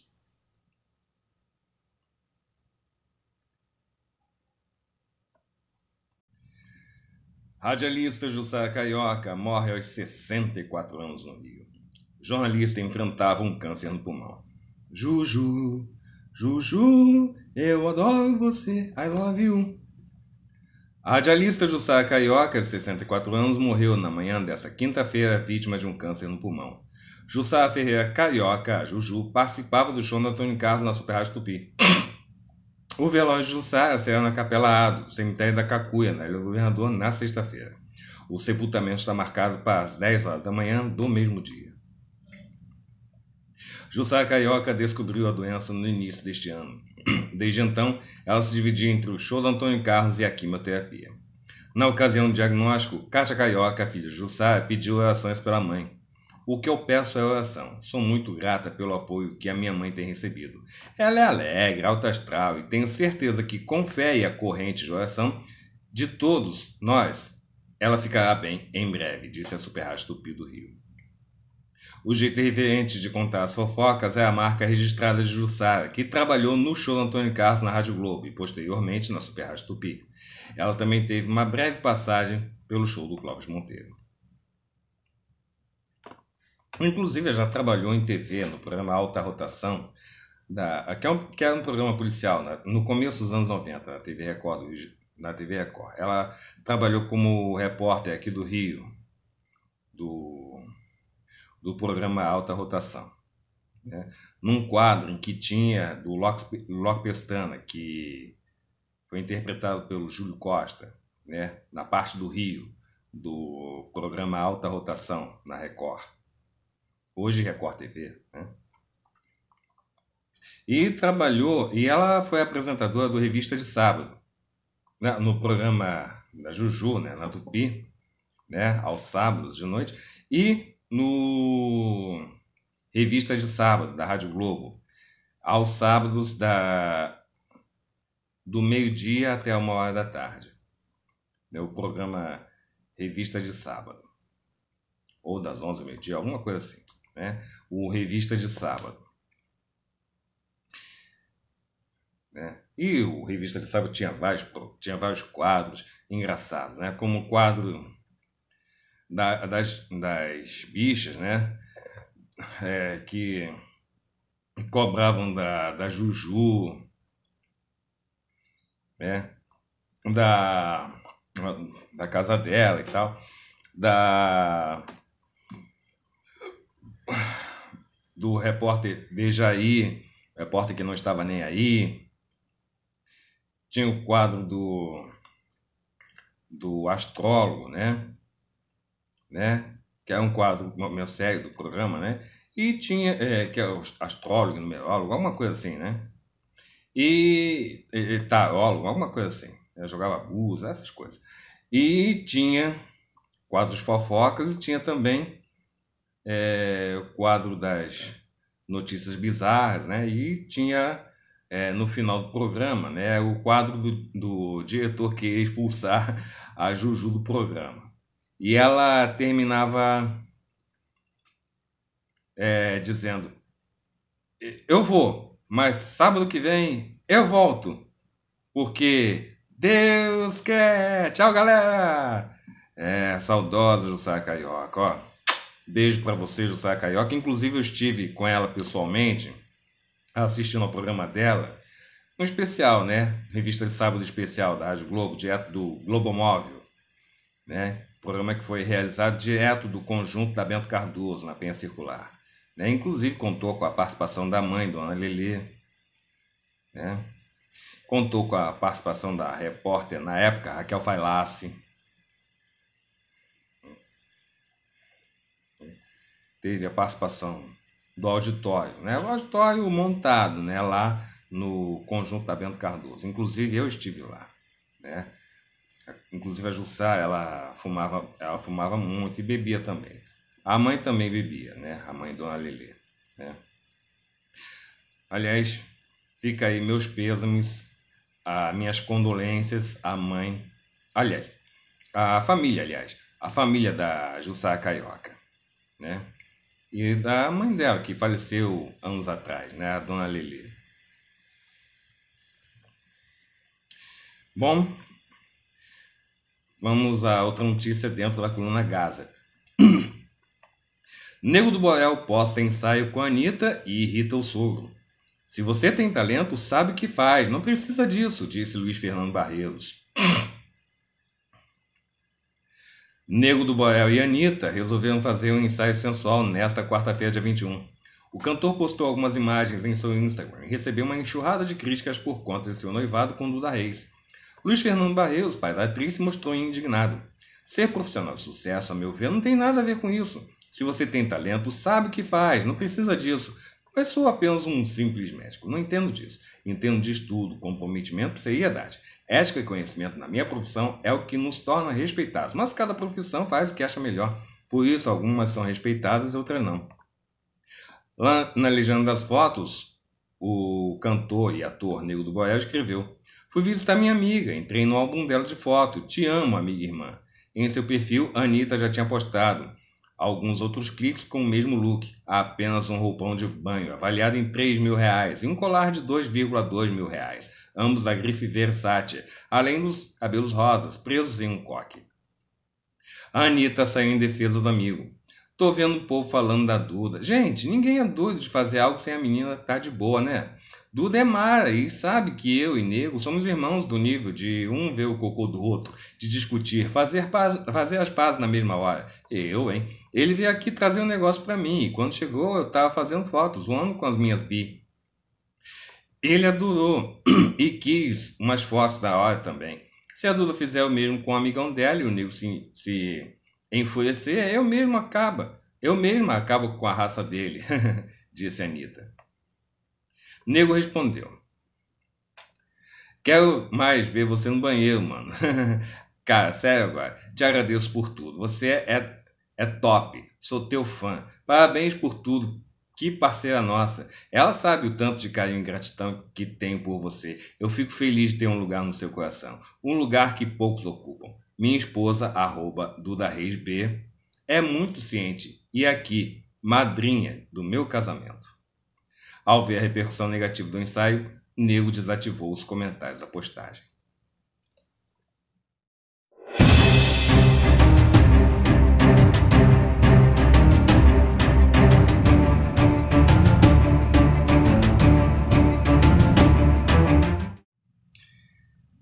É verdade que um marido fez um ensaio fotográfico no lugar da esposa grávida?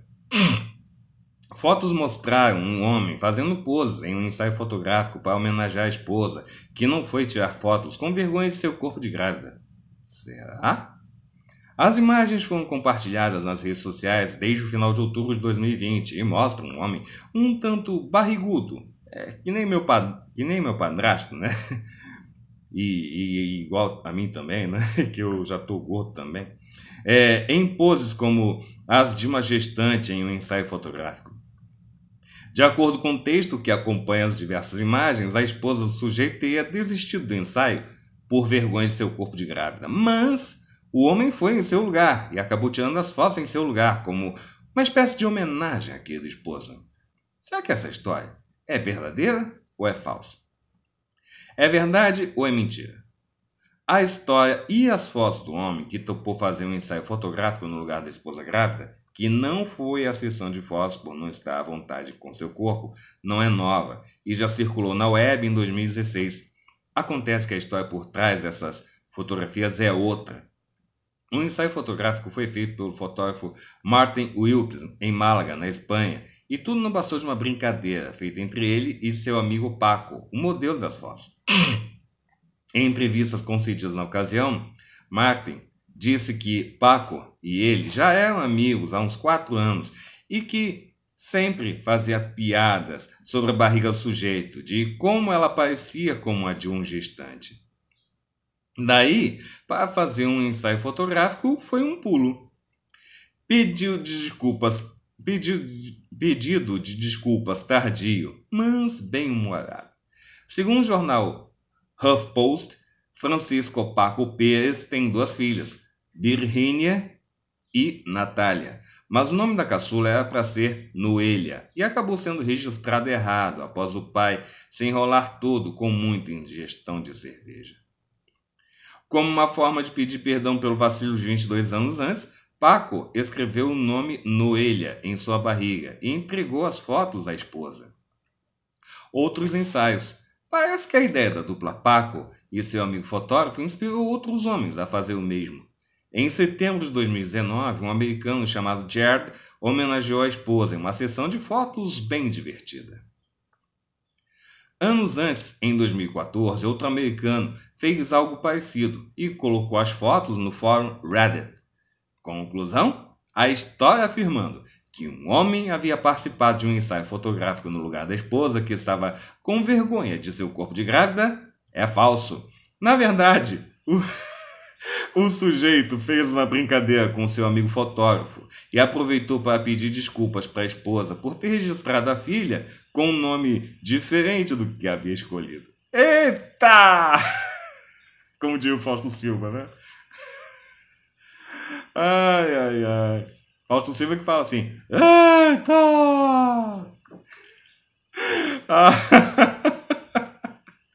Vai vendo. Eita?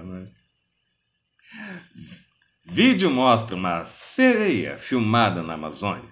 Isso é verdade. Diariamente recebemos diversas sugestões de pauta invariavelmente, algumas nos chamam mais atenção do que outras.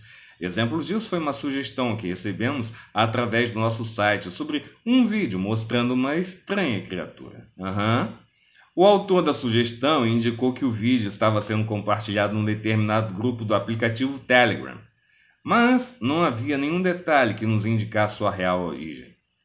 Havia apenas uma legenda bem genérica e conspiracionista. A ciência tenta esconder experiências bizarras, mas nada em oculto fica escondido por muito tempo. Entretanto, entretanto, será que esse vídeo é real? Estamos diante de uma estranha criatura, quiçá ou talvez uma sereia? Descubra agora, no Farsas, dentro do Notizap.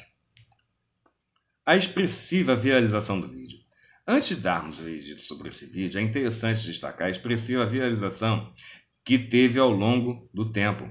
Somente numa, numa publicação de uma página no Facebook chamada, chamada TV Mascate, uma alegada emissora de TV de Manaus, ou TV Mascate, na verdade, uma alegada emissora de TV de Manaus, no Amazonas, esse vídeo já obteve mais de 69 mil compartilhamentos e 17 milhões de visualizações desde o dia 3 de junho de 2020. Eis o que foi mencionado de maneira extremamente alarmista. Acredite se quiser, bicho sereia ataca nas redes sociais. O ser vivo foi filmado em algum lugar da Amazônia. Chega a ser assustadora a semelhança com humanos no tronco. Assistam! Naquela mesma época, o vídeo também foi disseminado no Instagram e através de um site de notícias do Amazonas chamado Portal Manaus 24 Horas. Ambos também não forneceram mais detalhes sobre o vídeo. Contudo, esse vídeo já estava circulando em outros lugares do mundo antes de parar aqui no Brasil.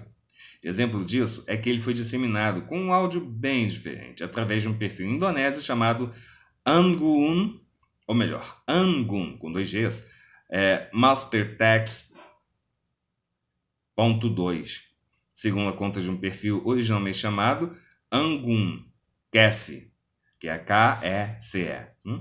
na plataforma TikTok no dia 3 de janeiro de 2020. Portanto, independente de estarmos ou não diante de um vídeo manipulado digitalmente, havia indícios de que a gravação pudesse não ter ocorrido no Brasil. E caso perguntem se alguém realmente acredita em vídeos assim? A resposta é que nem pinto de pato, né? É bem curta e grossa. E curta e direta, né? Sim, minha gente. Sim, muita gente. É verdadeiro ou é falso? É falso. Acreditamos que todos aqueles que nos acompanham saibam que, assim como as fadas, sereias não existem, não é mesmo? Né, pessoal? Não nos decepcionem. Dito isto, estamos diante de uma animação criada pelo canal Rota Rota Pere Producciones no YouTube. Simplificando, trata-se de computação gráfica, que é a CGI. A estranha criatura, ou suposta sereia apresentada no vídeo, foi criada digitalmente pelos irmãos nicaragüenses Jimmy José Pérez e José Joaquim Pérez, que são os responsáveis pelo referido canal. Originalmente, o vídeo foi publicado no dia 1 de setembro de 2019. Na prática, diversos perfis nas redes sociais simplesmente pegaram esse vídeo, sabidamente manipulado digitalmente, e o viralizaram com outro contexto alarmista e sensacionalista em troca de visualizações e curtidas. Isso porque na descrição do vídeo, o, can o canal sempre deixou claro que se tratava apenas de CGI, quer dizer, computação gráfica. Essa não é a primeira vez que vídeo do canal Rota Rota PD Produciones viraliza nas redes sociais. Em 2015, um vídeo mostrando um suposto Slenderman cor-de-rosa viralizou nas redes sociais. Contudo, se tratava apenas de um vídeo produzido pela Rota Rota PD Producciones. Em 2019, foi a vez de um vídeo mostrando uma suposta criatura alada ou demônio Porém, novamente, se tratava de mais um vídeo produzido pela Rota Rota PR Producciones. Já no início de 2020, o flagrante de um suposto demônio no telhado de uma igreja. É, bem, vocês já sabem, né? Conclusão? É falso! Estamos diante de uma animação criada pelo canal Rota Rota BD Produções no YouTube.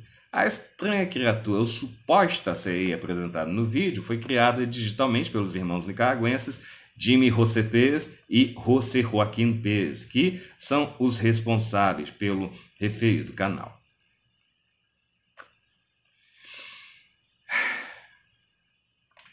Vídeo mostra um flagrante de roubo de moto em plena luz do dia. No último domingo, dia 20, um perfil apócrifo no Twitter chamado Robbery. Quer dizer, na verdade, dia 20 não, né? Foi. É, no, quer dizer, no último domingo, né? Domingo, um dia desse aí, né? Um perfil apócrifo no Twitter chamado Robbery Videos divulgou um vídeo daquilo que seria um verdadeiro assalto à luz do dia. No entanto, a legenda não fornece nenhum detalhe adicional, assim como o local ou o dia do evento. Entretanto, será que estamos realmente diante de um impressionante flagrante de roubo de moto? Descubra no site e farsas, dentro do Notizap. É verdadeiro ou é, ou é falso? é fora de contexto. Na verdade, se trata de uma ação encenada. O suposto assalto faz parte de uma cena do clipe Aventura Perigosa, do cantor brasileiro de funk MC CBzinho. Um, um trágico desfecho? Segundo o site Ponte Jornalismo, o jovem que interpretou um bandido no clipe foi morto pela polícia no dia 27 de setembro de 2020. De acordo com o texto, o jovem teria fugido da abordagem dos policiais por estar com os documentos vencidos. É mencionada inclusive uma publicação de MC Bezinho no Instagram, mas ela foi apagada. Eis um trecho do artigo. A diferença do clipe para a vida real é que os policiais identificam se tratar de um veículo roubado ao puxar a placa pelo sistema oficial, enquanto a moto de Luiz Henrique não tinha queixa de roubo. Afinal, o veículo era dele.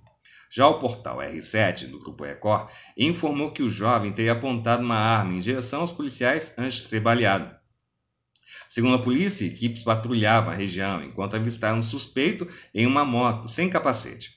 Após breve perseguição, o homem abandonou o veículo e fugiu para uma área de mata. Ainda de acordo com a polícia, um dos agentes disparou duas vezes contra o homem após ele apontar uma arma em direção ao policial antes de entrar em um, cor... antes de, entrar em um córrego. O texto publicado pelo portal R7 menciona que os policiais teriam prestado socorro e levado o jovem até um pronto-socorro, mas um vídeo divulgado pelo site Ponto de Jornalismo contradiz essa narrativa. Enfim, o site questionou a Secretaria de Segurança Pública de São Paulo. Em nota, a pasta explicou que o DHPP, Departamento de Homicídios e Proteção à Pessoa, investiga o caso, bem como a Corregedoria da Polícia Militar. Não encontramos quaisquer atualizações desse caso desde então. Conclusão: é fora de contexto. Em primeiro lugar, se trata de uma ação encenada. Em segundo lugar, o suposto assalto faz parte de uma cena do clipe Aventura Perigosa, do cantor brasileiro de funk MC CBzinho. Portanto, não se trata de um flagrante verdadeiro de roubo de moto.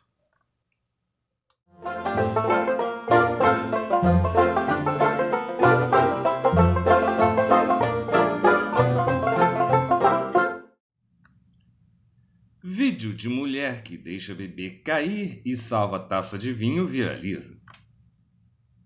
Uma mulher chamou a atenção de internautas por ter sido gravada deixando o bebê cair no chão para salvar uma taça de vinho. Não há informações de onde as imagens foram feitas, mas o registro se tornou viral nas redes sociais nesta semana. O curto vídeo mostra que bebê levanta a taça de uma mesa de centro Neste momento, ao perceber que o objeto vai cair, a mulher que está ao lado da criança agarra o copo com as duas mãos. Enquanto isso, o bebê acaba caindo deitado de costas no chão. Vai ver. Alguns internautas criticaram a atitude, enquanto outros saíram em defesa da mulher por acreditarem que a queda do objeto de vidro causaria um acidente maior. Outras pessoas também brincaram com a situação, deixando claro que a bebida é sempre prioridade. Eita, nós, vai ver. Afinal, ela está num restaurante chique, né? Ih, beleza, hein?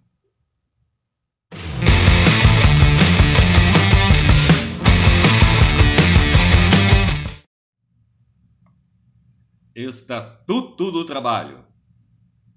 Artigos.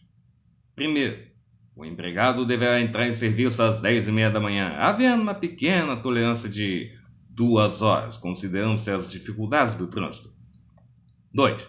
Durante o serviço, o empregado poderá fumar, cantar, dançar, jogar palitos,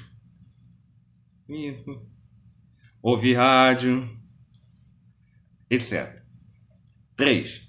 Antes de iniciar o serviço, será servido café, chocolate quente e suco de frutas naturais, com torradas e pão com manteiga. 4.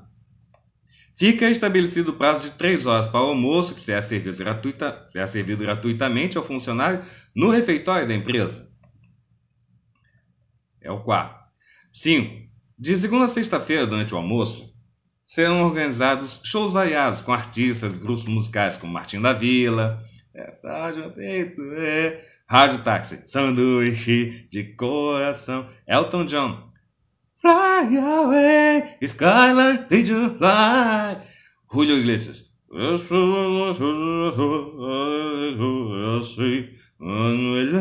Entre outros famosos nomes da música nacional e estrangeira. Durante o show será feito o sorteio de brindes como caixas de charutos importados, toca-discos laser e CDs de diversos títulos. Vai vendo. Sexto, o empregador que não colocar ônibus com ar-condicionado e suspensão a ar para apanhar os empregados na porta de casa deverá deixar à disposição destes seu carro com motorista para fazê-lo. Eita pega! 7. De segunda a quinta, serão proferidas palestras aos empregados no período das 14 às 17 horas para tratar de assuntos importantes como Campeonato Brasileiro de Futebol, né? O Brasileirão, né? Basquete, NBA, ou, ou nossa liga de basquete, alguma coisa assim. Vôlei, é, por exemplo, Superliga, por exemplo, né? Futebol, pode ser Liga dos Campeões, pode ser a Champions League, enfim, ou, ou então a Europa League, enfim, né? Copa do Mundo pode ser também, né? Corrida de cavalos, boxe, etc. Pode ser MMA também, né? Aquela do UFC, por exemplo, né? Então, o empregado que não desejar participar ficará dispensado do trabalho para jogar palitinhos ou jogar, né? Aquela palavra que termina em inha, né? Então, é, buraco, dominó, legibia ou qualquer outro passatempo igualmente produtivo. 8. Duas vezes ao ano será concedido ao empregado um período igual ou superior a 90 dias destinados ao seu descanso, sem prejuízo da licença, prêmio e outras vantagens trabalhistas a que fizer juiz. 9. O empregado que for pego dormindo no serviço não, não deverá ser acordado, e sim liberado para sua casa, tendo o resto da semana para descansar, pois está evidente a fadiga pelo trabalho excessivo. Aham, uhum, sei. Décimo. Para estimular o empregado a encarar a continuação da labuta diária, o empregador servirá uma dose de whisky escocês, 12 anos, durante o expediente. E, e para terminar, número 11. O empregado terá direito a acessar a internet gratuitamente usando uma linha de telefone direta. Caraca, telefone, hein? Vai vendo. Ou então o Wi-Fi da empresa mesmo, né? E ainda, participar de chats ou de chats, né? Ler piadas, ver pornografia, caraca, hein? Em horários de expediente, tendo de chamar um colega de trabalho para mostrar algo interessante que tem encontrado na web. Vai vendo. Sonhos de um Trabalhador, 30 de fevereiro de, de 1910. Companhia de Seguros, Sombra e Água, Sombra e Água Fresca. Apoio dias e dias parados limitados. E com essa, eu vou embora. Muito obrigado pela companhia audiência, Jornal André Morim. Edição. É... edição. É... De quarta-feira. Quinta-feira, 22 de outubro de 2020. Fica por aqui um super beijo bem gostoso para vocês. Um forte abraço e até a edição de sexta-feira, 23 de outubro de 2020, se Deus quiser e os anjos do Senhor permitirem. Tchau, pessoal. A gente se vê por aqui. Melhor dia da vida de vocês, abençoados e abençoadas. A cobertura angelical com vocês, viu? Assim é. Ah, papai. Nós não somos os criadores do universo, mas com certeza, ó, somos filhos do grande Criador. Fui!